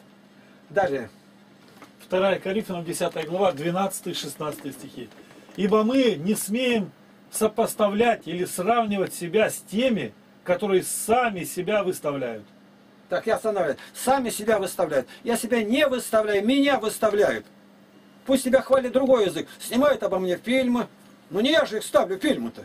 Так что выступает священник здесь, отец Николай Бурдин, на Южном. Игнатий, он закупил за американские доллары телевидение, с Москвы приезжают, с Германии, там отовсюду снимают его, всю печать местную. А правда, в печати я много выступал, везде платить надо. А тут ничего я не плачу. А сколько вы денег заплатили? Представьте, к вам приехала директор Кэстонского института из Лондона, Ксения Деннон, и ее сопровождает Состанкина, с Алтайского ГТРК. Позвольте, у меня денег нет на это? Нет, так не бывает. Представьте, какие лучшие режиссеры снимают о вас фильмы. Я ничего не знаю. Они сами себя выставляют. Далее они измеряют а себя самими собой и сравнивают себя с собой неразумно. С собой. Дальше они не видят. У Григория, Григория Низкого был брат Василий Великий и Макрина. Когда она умерла, и он стал о ней писать. А потом руки опустил, говорит, не верят. Я пишу, говорит, они не верят. Они верят только в то, что могут сами сделать. Вот их критерий. Вот они этого не могут делать, что я делаю? Ну, начните платить 9 десятин. Вот нынче я встретил у сектантов одного, у него 9 ребятишек, и он платит 5 десятин. Первый раз встретил в жизни, но не 9. Поэтому я все время работал на двух-трех работах, постоянно. И всегда выработка у меня была 280-300%. Я плотник, печник 40 лет был, самая грубая работа, бетонщик, стекольщик. Я прораб, закончил строительный техникум в Барнаульске. Я не ищу себе, мне Бог все так дает, я просто готовое беру. А как вы нашли вот эти люди? Я не искал. Бог их привел ко мне на дом. Вот я, мне нужно насчитывать, э, у меня был материал М1, М5. Это о масонстве, о захвате в мире. Тогда это еще, э, все это тайна было. Я должен был записывать, и матрасы висели на окнах, на дверях. И нужно было мне, как кто насчитывать будет, чтобы я не один. И вдруг я утром встал, а я молюсь об этом. А дома у меня люди постоянно, я говорю, так, я сегодня сон видел, интересный. Ко мне должны зайти два человека, и один из них у меня останется. Но над ним нависла скала. Я просто в скале скользнулся, и под выступом, я еще не рассказал сон, в дверь стучат. Прямо во время разговора с нас заходят два человека. Я насторожился, кто такие? Один из них Яда Яковлев. Вот он, мы будем насчитывать вместе трагедия русской церкви Льва Регельсона трагедия. 20 век, мученики 20 архипелаг, ГУЛАГ, масонство. Его голосом насчитано больше нигде этого нет. Вы знаете, такой был эрудит, энциклопедист. Я думаю, может, таких и нет сегодня. А, отец Александр Мень. У кого есть записи, лично с ним беседы, интервью задавали, дайте мне знать. В интернете стоит мои беседы с ним я у него раз, другой прихожу и все записываю, все вопросы. Они в 20 томе у меня отмечены. А сегодня говорят, знаете, мы нашли интересную запись, правда, не лучшего качества, но именно беседуют два человека, как будто противоположно, насколько важно это отец Александр Мени Игнатий Лапкин. А кто такой Игнатий Лапкин? Да кто его знает, да кто он такой? Ну, задает такие вопросы, которые сегодня еще неразрешимые были. Он у меня даже в одном месте вот так микрофон схватил и засмеялся. Ну, интервьюер, никогда таких вопросов мне не задавали. И еврейский вопрос, все там было. Почему вы в Москве живете не сделали это? А я с огромным магнитофоном в мешке с проводами туда еду, прицепляюсь и дальше веду. Я спрашиваю, почему? Выпустили книгу, там э, серия книг была 14, мировые религии и современные религии. Все, я нашел, что самое лучшее было, это Митрохина, баптизм настолько хорошо написано профессор Митрохин. Я еду в Москву, нахожу этого Митрохина и записываю тайно наш разговор. Ну почему этого никто не сделал? Я, я эти почему могу я теперь задавать? Вы же там рядом были. Мне надо было тащиться до 3300 километров, тащить эту аппаратуру в мешке, обыкновенный мешок из-под картошки. И там лежит вот этот магнитофон, только от проводов работает. И я его записываю. Вот. Я таких вопросов могу, знаете, сколько задать? И они у меня в книгах отображены. Сколько таких было у нас тут преподавателей, писателей, научных работников, с которыми я встречаюсь в литературном институте и читаю стихи. Там Лев Ашанин был как раз, по одному стихотворению. И все стали просить, чтобы я еще рассказал еще. И он говорит, знаете, у нас такое впечатление, как будто ворвался ветер, и все шторки, все наши окна, все распахнул. А я дорога написано стихотворение. У меня книги стихов сейчас готовятся к выходу, но платить нечем. По 800 страниц, по 800. 4 тома. Это 3467 стихотворений, по 9 куплетов каждая, в четырех строчных 9 куплетов. И напротив каждой строчки еще и выписано, откуда место взято из Библии. Вы сами посмотрите, хотя это не у каждого стихотворения. Ну еще завидовать. Почти 80 стихов положено на музыку. Я бы мог включить, показать. Вам это надо? Вы найдете это все в Mail.ru у меня стоит. Бери. И вот каждый раз, а зачем вы это говорите? Ну хорошо, я не буду говорить. Пленки я издал. Никому не говорю, все заглохло. И кому они пойдут только до КГБ. Я уже понимал, у меня другое дело. Я был в Москве, проехал по России и сказал, кто примет мою работу, начитанные пленки оригинальные, уже начитанные. Это 200 примерно пленок. 375 метров, 4 дорожки, скорость 4,7 сантиметра. Звучание каждое 8 часов 20 минут. Кто возьмет даром? Отдаю даром 15 магнитофонов по 320 рублей. Тогда какие были деньги? И 3000 кладу сверху еще.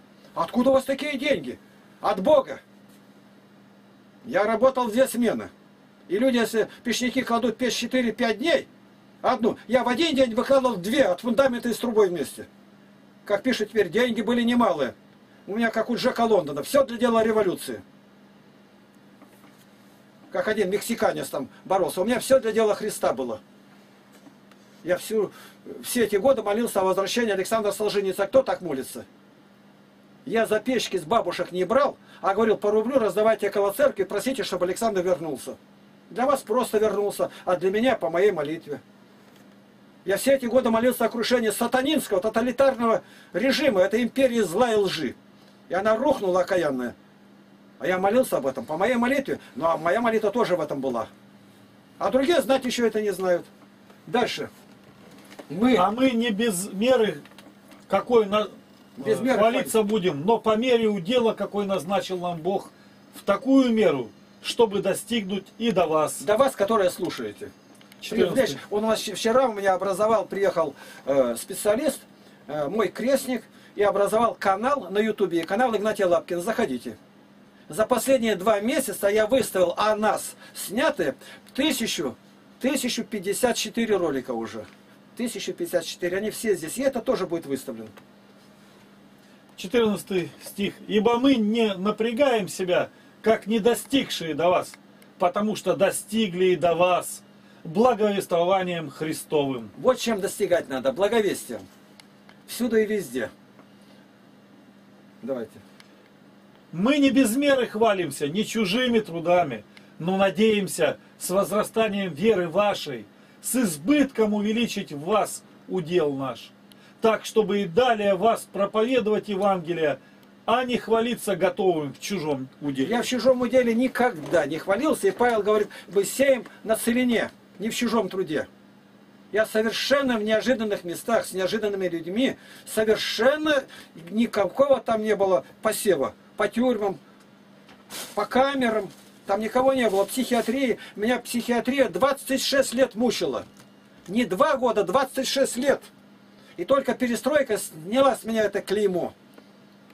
Злоупотребление советской психиатрии. Это надо было выдержать. Пытки какие устраивали. Это вот мое, вот это тело перед вами, оно все это испытало. Выкручивание, накачивание. Это Бог сделал. И вы не можете повторить мою биографию как я Солженицынскую, но моя очень похожа. И некоторые говорят, даже я и вроде внешне на него похож. Второе. 2 Коринфянам 11 глава с 23 по 30 стихи. Христовы служители, в безумии говорю, я больше. Я обращаюсь это к священникам, ко всем. Это мои слова к вам. Я гораздо более был в трудах, безмерно в ранах, более в темницах и многократно при смерти. От иудеев пять раз дано мне было по 40 ударов без одного. Меня заказывали, заказывали на убийство. Подбрасывали, что я с детьми их занимаюсь с преступниками. Я занимался с несовершеннолетними преступниками. Когда меня посадили, милиционер ходил и распространял, что у меня нашли радиостанцию в 68-й школе в подвале связан с японской разведкой. Еще только не было, я должен был все это перенести. Должен был, уповая на Бога, ждать от Него избавления, не от людей.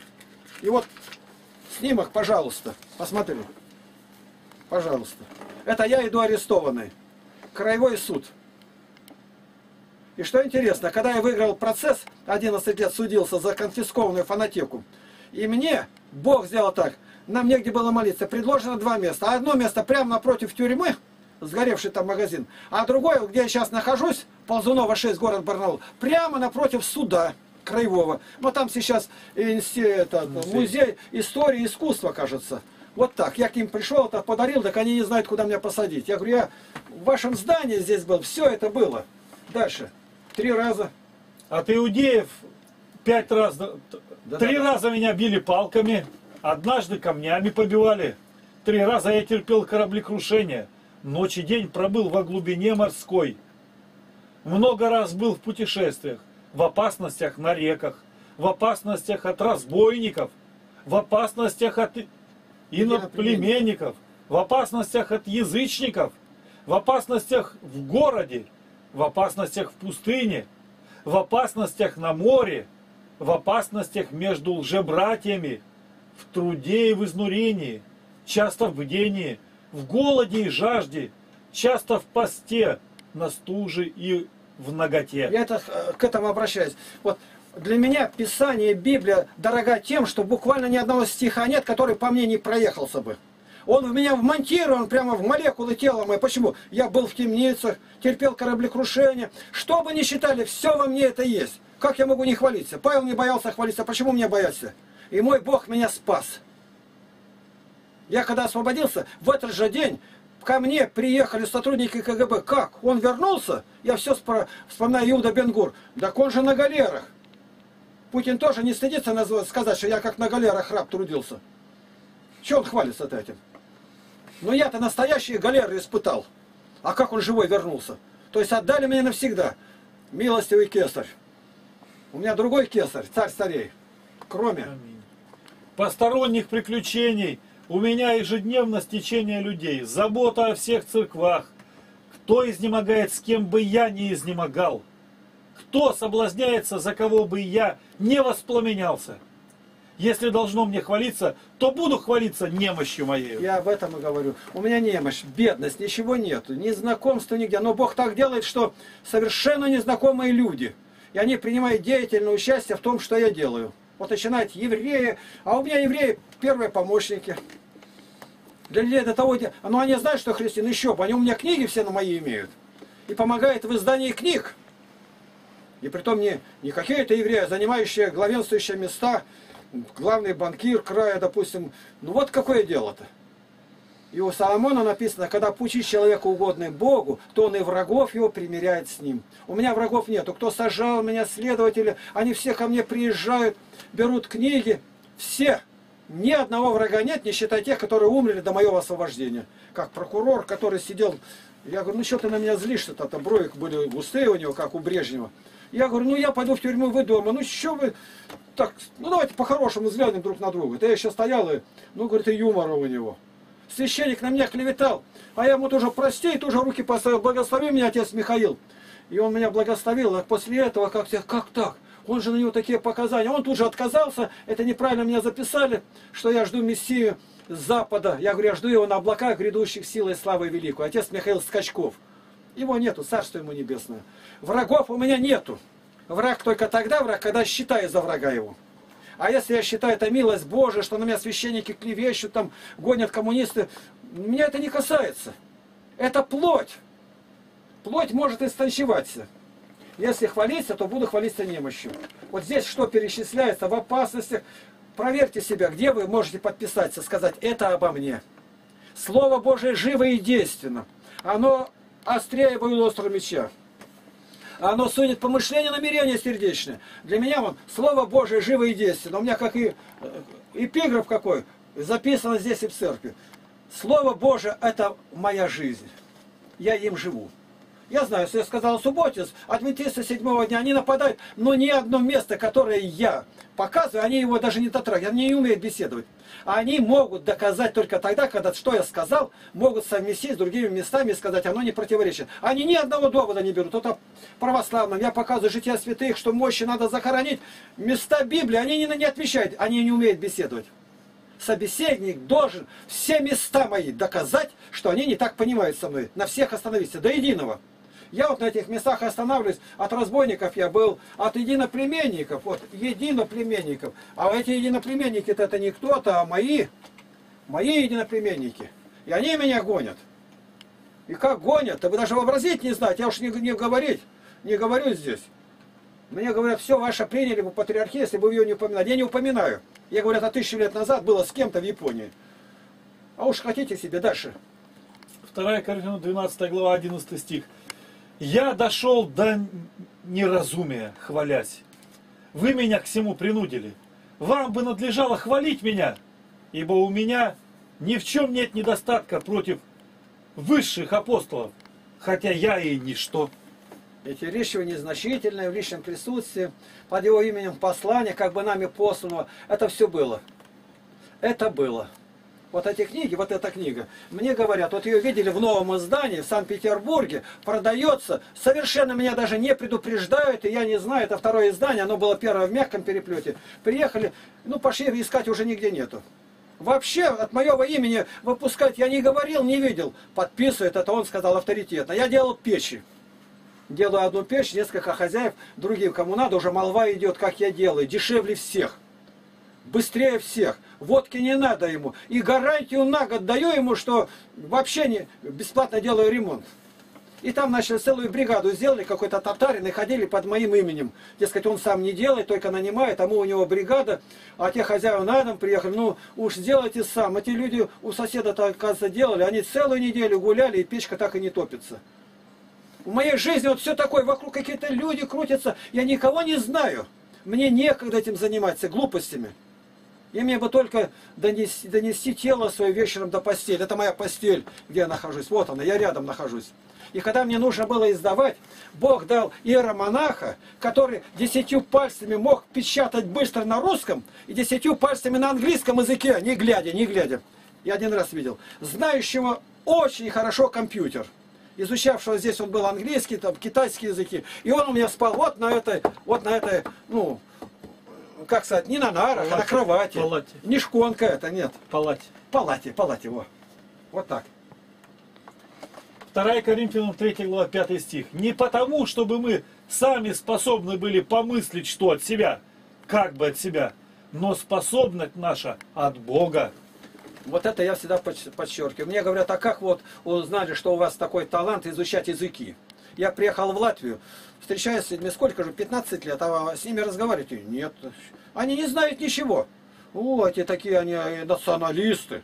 Его если спрашиваешь, куда пройти, они вот так показывают, в двух направлениях где-то. Я в это не поверил. И я даю свое мнение. Латыши прекрасные люди, трудолюбивые, приветливые. Я сразу же поступил, э, в первую очередь купил учебник. Дальше, в латышскую бригаду. И через три с половиной месяца, три с половиной, неполных четыре даже, я уже с ними разговаривал. И выиграл однажды спор, как правильно сказать, у нас нет матерей.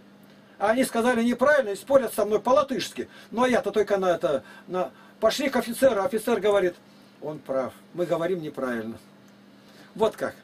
В школе не было иностранного языка, я не знал, просто спор зашел, я как-то уже защита диплома была, я говорю, как же так, вот Толстого читаю, «Война и мир», там столько выдержек по-французски. Значит, люди могли знать, да ты выучи. Со мной нельзя было так разговаривать. Как у отца Сергия, он всегда старался быть лучшим.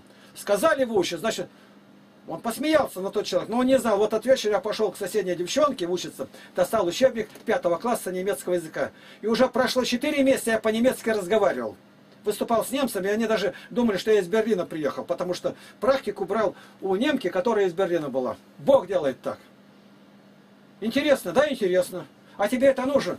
Не нужно, я самостоятельно занимался испанским, греческим. Это все в прошлом, я ничего уже не знаю. Но я просто вышел на газетный текст, и мне это интересно было. Сейчас молодежь все стонет в армию, возьмут зря пропащее время. Но обо мне как-то написали, здесь преподают высшая милицейская школа. И как раз, сколько я провел за компьютером, в 62 года, я только сел за компьютер, 62 года было. Набирал сам, версткой книг занимался сам, версткой. Так учитывая, то там у меня разный шрифт, наклон, там стихи. А вы, молодежь, студенты, стонете, меня перед студентами представили где-то. Ну, конечно, это трогает их. А с чего вы начинали? В первую очередь, отвергни себя. Второе, возьми крест. Все должен принимать болезни в равной степени, поношения, издевки, все как от Бога. И третье, следуй за Христом, считая его святые заповеди. Еще.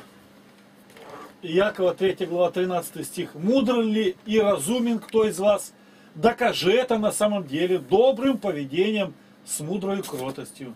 Вот и все. А если, говорит, в сердце вашем имеете зависть и сварливость, то не хвалите на истину. Это я своим оппонентам говорю. Я даже показал, как молиться, склоняться. Раньше молились крестообразно. Так зайдите в Mail.ru, посмотрите. Обычно так, ни одного нет отзыва, два или три, а тут сотни, триста, четыреста. И все на этом. Я показал, я выделил места святые, как молились, мужи, жены, как поднимали руки, православные. Я на деле показывал это, чтобы люди видели как. Ой, как напали на меня. Которые лба не перекрестят. А только тайно надо, чтобы никто не знал. А вот сказали, что платите десятину. А почему не боялся об этом сказать Тавид? Одну десятину я отдавал священникам, одну туда-то, одну раздавал нищим, один восемь Тавита.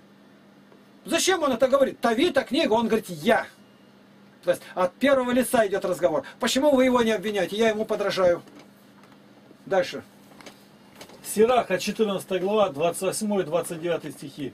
«Заговорил богатый, и все замолчали, и превознесли речь его до облаков. Заговорил бедный, и говорят, это кто такой? И если он споткнется, то совсем не свергнут его. Вот я этот стих а, применяю к себе. Это мое. Вот когда я обратился к Богу, я прочитал у Давида такое, говорит, да не постыдятся во мне все надеющиеся на Тебя, Господи. Допустим, я ну, среди народа как-то бываю. И я не так поступлю, как-то греховно, и меня это выстоит, а моим друзьям будет укор. Вот вы его слушали, а он, ты понимаешь, вот он какой. Я этого так боялся, друзей не подвести, поэтому себя крепил. Это нельзя делать. Этот стих во мне вошел. Но ты сокрыл лицо твое, говорит, и я смутился. Евангелие от Иоанна, 8 глава, 46 стих. Кто из вас обличит меня в неправде? Если же я говорю истину, почему вы не верите мне? Я это слова к себе беру. С маленькой буквы я это говорю. В неправде моя обличите. Вот мои книги. Почему не соберутся епископы вместе, ну, вплоть до всех цензоров, и конкретно по каждой книге по стиху, но только во свете Библии. А не так, что сказал там кто-то, сказал кто-то, но вопреки Библии он сказал. Кому я должен был верить? Кого надлежит больше слушать? Бога или человеков? Да, у меня все необычно в моей биографии. Родиться без поповской семье, найти священство, понять, что без священства нет церкви. И обратиться, уверовать во Христа, имея страх Божий, в 23 года уже. И обратиться среди сектантов. Я у них там буквально сразу был выдвинут на первое место. Тогда было только так называемое э, движение за церковь у баптистов, отделенное. Инициативники называли, совет церквей. И я помогал материалы распространять, я сразу включился в их работу. Я не баптист, и они это знали. Братик, братик, братик меня везде. Вот и все. У меня знакомый был один. Был знакомый, а потом он исчез, а потом вернулся. Я говорю, а где ты, Саша, был? На севере был, работал, деньги зарабатывал. Ты тоже, кажется, северяк на севере, на, на, на каких-то там золотых приисках работал. Там были у вас такие? Вот. И работал на мощном этом американском бульдозере. Как он называется? Катерпиллар. Вот так. Я говорю, мы бы тебя приняли, но ты осквернен тем, что ты не платил десятину. Ты же не платил ее церкви. Не платил. Так вот, хочешь быть с нами? Сядь, посчитай, сколько ты заработал, и десятину высчитай, и отдай. Завтра мы ее от тебя снимем. Он посчитал как раз то, что он привез сюда деньги-то. Деньги-то были хорошие. Я говорю, ты готов деньги снять с книжки и отдать их? Конечно. Он очень любил нас. Я говорю, пошли. Он снимает деньги, и мы прямой наводкой к баптистам, к отделенным. Я знаю, куда деньги. У них подпольно печатали деньги. Да ты же православный. Тут все замерли. Такие деньги. И мы отдали. Володя принял их, тогда был такой пресвитер. Новый Завет печатали. А? Новый Завет печатали. Да, Новый Завет печатали. Новый Завет подпольно печатали. Я знал, куда деньги дать. И все, теперь он наш друг, человек. Десятина должна быть отдана Богу. Я не просил большего. Это больше я взял для себя сам. Я увидел, что э, правильно делали апостолы. Они сто процентов отдавали. Купили к ногам апостола, положили, но я не мог сто. И 10% конечно, не хватало. Поэтому у меня всегда 2-3 работы было. Я дома сижу, переплетчик, реставратор, переплетаю, на работе сижу, работаю. У меня все время руки работали. Я ни разу не пожалел, что вот так. А меня настоятель вызвал, Игнатий, что ж такое? Это опять около тебя бабки там это. Чего они около тебя крутятся? Да просили снег с крыши. И вот я договорился там сколько бабок. Приду, скидаю. А эти-то приходили еще. Да дрова привезли, им не пилить некуда. Это мы, мы придем к ним, перепилим. Да ты что, солнце что ли? А это что? Да это просила пилу потащить, это валенки подшить. Я прихожу, оттуда ухожу нагруженный. А, а он настоятель, какой есть. Для меня это не, нет разницы, как ты на меня смотришь. Я перед моим Богом, я в каждом должен увидеть образ Христа. Они такие ласковые, такие хорошие бабушки, я так их любил. И поэтому Бог дал мне любовь в старости и от старых, от молодых. Матфея 5 глава 14 стих. Вы свет мира. Не может укрыться город, стоящий наверху горы. И зажегши свечу, не ставят ее под сосудом, но на подсвечнике и светит всем в доме. Тогда светит свет ваш пред людьми, чтобы они видели ваши добрые дела и прославляли Отца вашего Небесного. Чтобы видели дела или спрятать, как убить, если нет? Я их не афиширую, они просто на виду. В общину, от которой здесь, ну тут ну, 90, может, с лишним процентов пришли через мою проповедь в университетах и, и где. Вот он снимает, пришел через это. Ты приехал сюда, не оказался бы в общине, если бы ее не были. То есть мы все связаны. Связаны. Которые жен нашли, дети рождаются. Я в каждом из них нахожусь. Но у меня претензий ни к чему нет. Я все время стараюсь отстраниться. Я добровольно отошел от всего. Не пишу стихи. Говорил четыре проповеди в неделю. Отошел от проповеди. По порядку перечисляю сколько. Но я староста. Выступал в газетах, отошел. Книги издавал, отошел. Я 8 дел полностью оставил. Оставил себе, как раньше было МФ, у глухонемых М, и вот так называется морфлот. А теперь осталось только молитва и форум. Все время здесь нахожусь. Дальше. Псалом 68, 7 стих.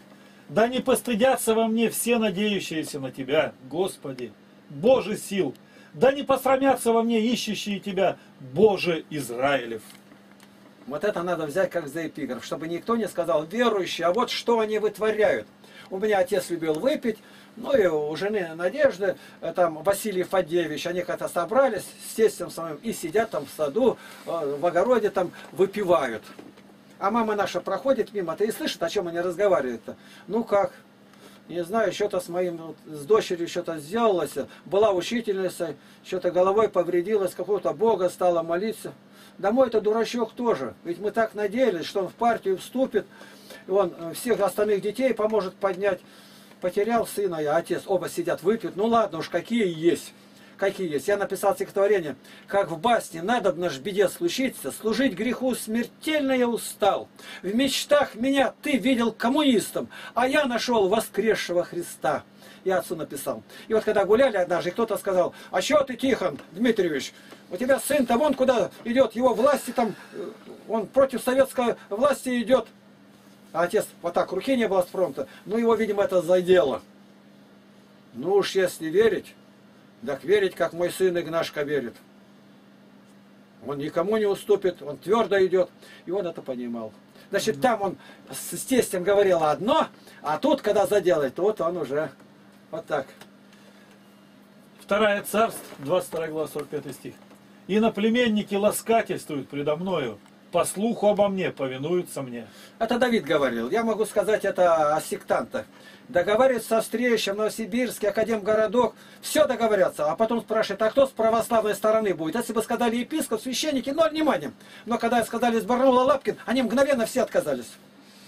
Они ласкательствуют, говорят, но по слуху обо мне они повинуются мне. Но Давид не боялся это сказать. Почему мне это бояться? Он говорит конкретно о себе, о племенниках по отношению к нему. Псалом 17, 45, 46 стихи. По одному слуху, а мне повинуются мне. И наплеменники ласкательствуют предо мной, и наплеменники бледнеют и трепещут в укреплениях своих. Вот которые заметили, вот я выставляю ролик, и дальше вот, дальше они, бывает, один зайдет, раз, два, три, там, 10 больше своих выступлений подряд, он не может высказаться. Ну, задевает -то меня, ты сектант, если это православный, ты сектант, ты православной вере изменник, то он ждет, я вылезу, я никогда не выложу. Почему? Спорит тот, кто ничего не знает. Это у меня такая наработка. А кто знает, он возвещает истину. Я возвестил, но теперь вокруг этой колокольни бегайте, подвизгивайте. Если я сказал, что церковь только там, где рукоположенное пасторство, священники от апостольских времен, херотония непрерывная, сектанты меня смешивают с грязью и как бы вызывают. Ну вот выйди, смотри, у вас там эти кости там везде, мощи, вы там все делаете, попы там такие толстые, задницы начнут, грубить начинают выйдет, я не выйду, я смотрю, дома сижу и сразу, вы знаете, у меня вот главное оружие у меня и перед иконами, это вот мне подарок. Подарки мне дарят. Вот, вот пожалуйста, 100 поклонов. И все. И на душе легко. За всех сектантов, баптистов, за премьер-министра, президента, за патриарха Кирилла, за всех молюсь. За Горбачева, за Стерлигова, за Невзорова. Они поминаются именами в моей молитве днем и ночью. Почему? Любовь Христова да будет над ними. Они мне не враги, они несчастные люди. Они не знают этой радости. Охотятся за, как... за ними. И за мной никто не охотится. Я в любое время ночи иду куда угодно. Меня еще боятся, глядя какие. Что интересно, однажды я вот так вот иду, ну и визитки раздаю, там приглашение на занятия в университет. Стоят группа студентов. Вот до того было это интересно. Но там в жизни так бывает.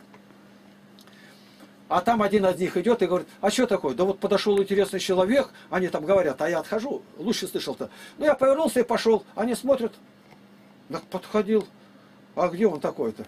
А тут я его сейчас посмотрю, подбегает вперед на меня, заглядывает и опять помчался. Так вот он самый есть. Я перед ними-то стою, они меня не видят, как я одет-то. Они меня привидят лицо, бороду. А когда я уже развернулся-то, я совершенно другой. Пигмейщик, там, говорит, хаттабыч маленький. Как... Ну, до того интересно. Ну, просто интересно надо жить. Красиво и азартно. 1 Царств, 12 глава, 3 стих. Вот я свидетельствуйте на меня пред Господом и пред помазанником его. У кого взял я вала, у кого взял осла, кого обидел и кого притеснил. У кого взял дар и закрыл в деле его глаза мои. И я возвращу вам. И отвечали, ты не обижал нас, и не притеснял нас, и ничего ни у кого не взял. И сказал он им, свидетель на вас Господь, и свидетель, помазанник его, в сей день, что вы не нашли ничего за мною. И сказали, свидетель. Я ко всем людям обращаюсь. Вы конкретно ко мне что-то имеете? За основу возьмите Римлянам вторая глава. Вот я говорю, а я не делаю. Я должен говорить. Ну а как я могу не говорить? Мы приехали в новое селение. Ну, везде вопрос. Мы заходим в дом и говорим, так, мы, Мамонтского района, поселок Потеряевка, православные христиане. Вот раздаем Евангелие, если у вас нет. И сегодня у нас встреча в три часа будет в Доме культуры. А кто вы-то? Я должен сказать, кто они. Потеряевка, о, мы знаем, нам это интересно. Это вы деревню строите с нуля, да? Мы... Все, я пошел. Да, а что вы о себе рассказываете?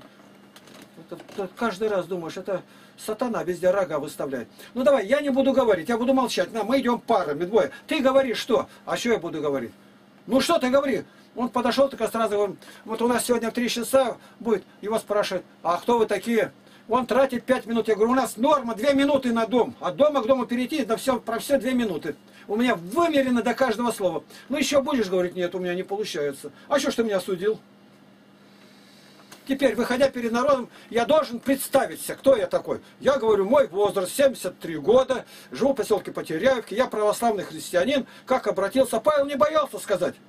Сколько раз он свидетельствует перед Синедрионом везде, я такой-то, я шел, осиял, а я упал. Чего вы ко мне-то прилепляетесь? Я что-то нарушил, от вас отнял. У вас не было обращения такого. Вы здесь мне завидуете. У меня было подлинно настоящее обращение. Рождение свыше, исполнение Духом Святым. Я это испытал. Как писала Ксения Дэн, это драматическое событие произошло в моей жизни. Притом я этот момент ждал. Говорят, у вас что-то в жизни неладно было. У меня все было ладно. В это время я учился в высшем мореходном училище, работаю на корабле. Знания, память, здоровье. Ну, в подводный флот не набирают коллег.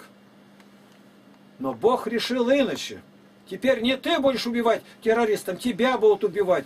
Как я благодарен Богу, что у меня слух был ослаблен, временами приходило повреждением. Я не слышал задания, которое учитель задает. Я учил на два урока вперед. И вот эта самостоятельность работы помогла мне в работе с книгами, с трудными книгами. Такие, как Исаак Сирин, Симеон Новый Богослов. Вот есть это самые наитруднейшие книги. Обычно я когда начитываю, ну сколько дыхания хватает, там бывает час начитываю. А на их насчитываю больше 15 минут я не мог насчитывать. Я днем никогда не ложусь. Повторяю, меня жена не видела лежащим. Но здесь я ложился в день раз пять спать хотя бы на 15 минут. Полностью разум выхолощен. Вот что они говорят? Их называли ангелы во плоти или человек на небе. Настолько возвышенные слова, мне надо интонацию передать. Я считаю и до каждого слова надо дойти. И полностью чувствую, все, мозги высыхают. Я пью опять воду с медом, ложусь, встаю опять свежий, считаю. Минут 15-20 я выхолощен полностью. И опять, и до конца так и не досчитал. Феофан Затворник, это пишет э, Василий Кривошеин, архиепископ Брюссельский, так и не решился перевести Семена Нового Богослова на русский язык. Не решился. Если перевести и дать, все поймут, что они неверующие, потеряют веру остатки. Вот какие есть. У сектантов есть такие, они понятия не имеют. Но они хорошие люди, сектанты, но не церковь. Я постоянно подчеркиваю. Поэтому у меня друзей среди сектантов было бы очень много, если бы я вот этих слов не говорил. Поэтому вот на то, что которые обвиняют, вы говорите там о себе, но научите как по-другому. Дело в том, что, допустим, я нынче 240 раз должен был сначала, начиная, выступить перед библиотекарями, перед людьми. Допустим, в библиотеке. В первую очередь, я нежданный и незваный, как говорят об евреях. Я явился. Здравствуйте, тетя Аня, племянник приехал.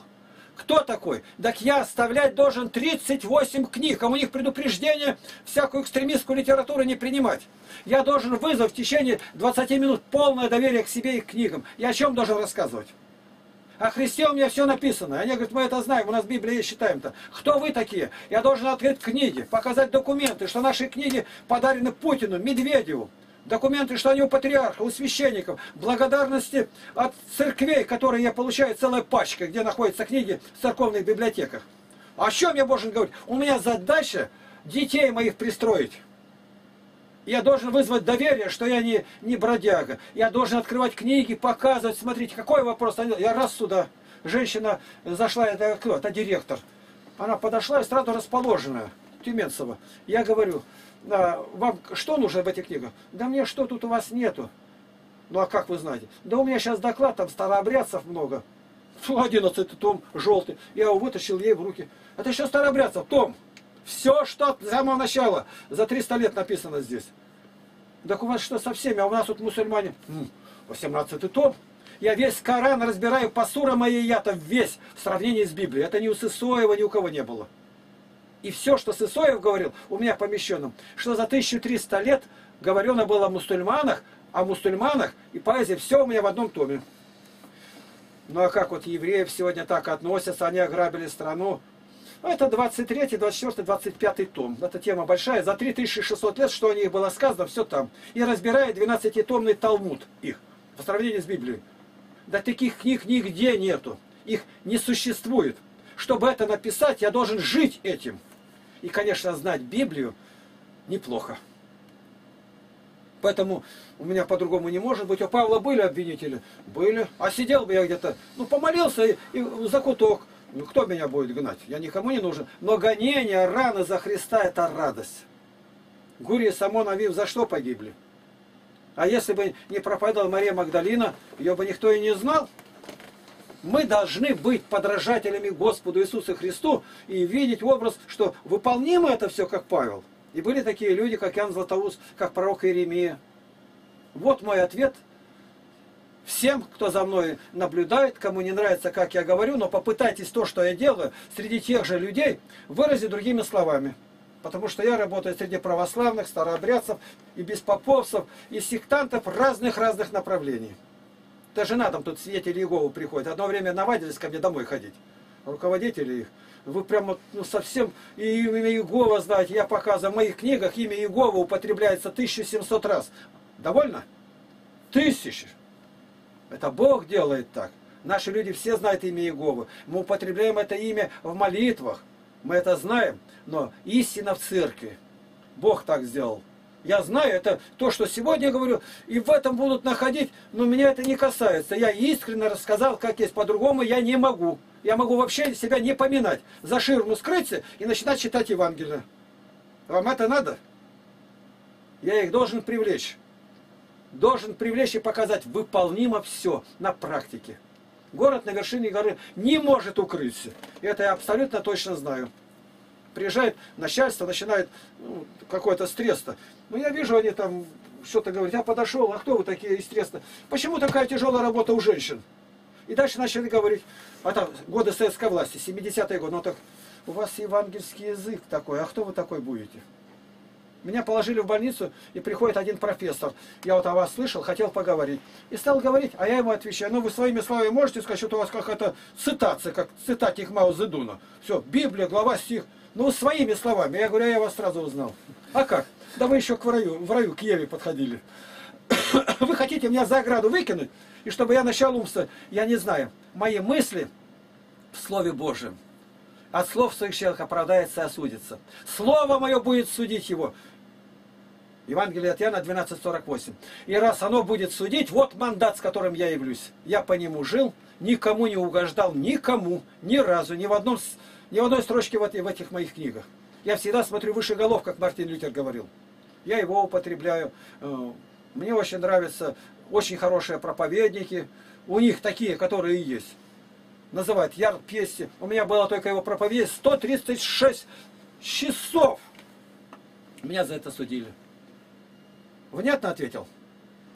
Да, внятно.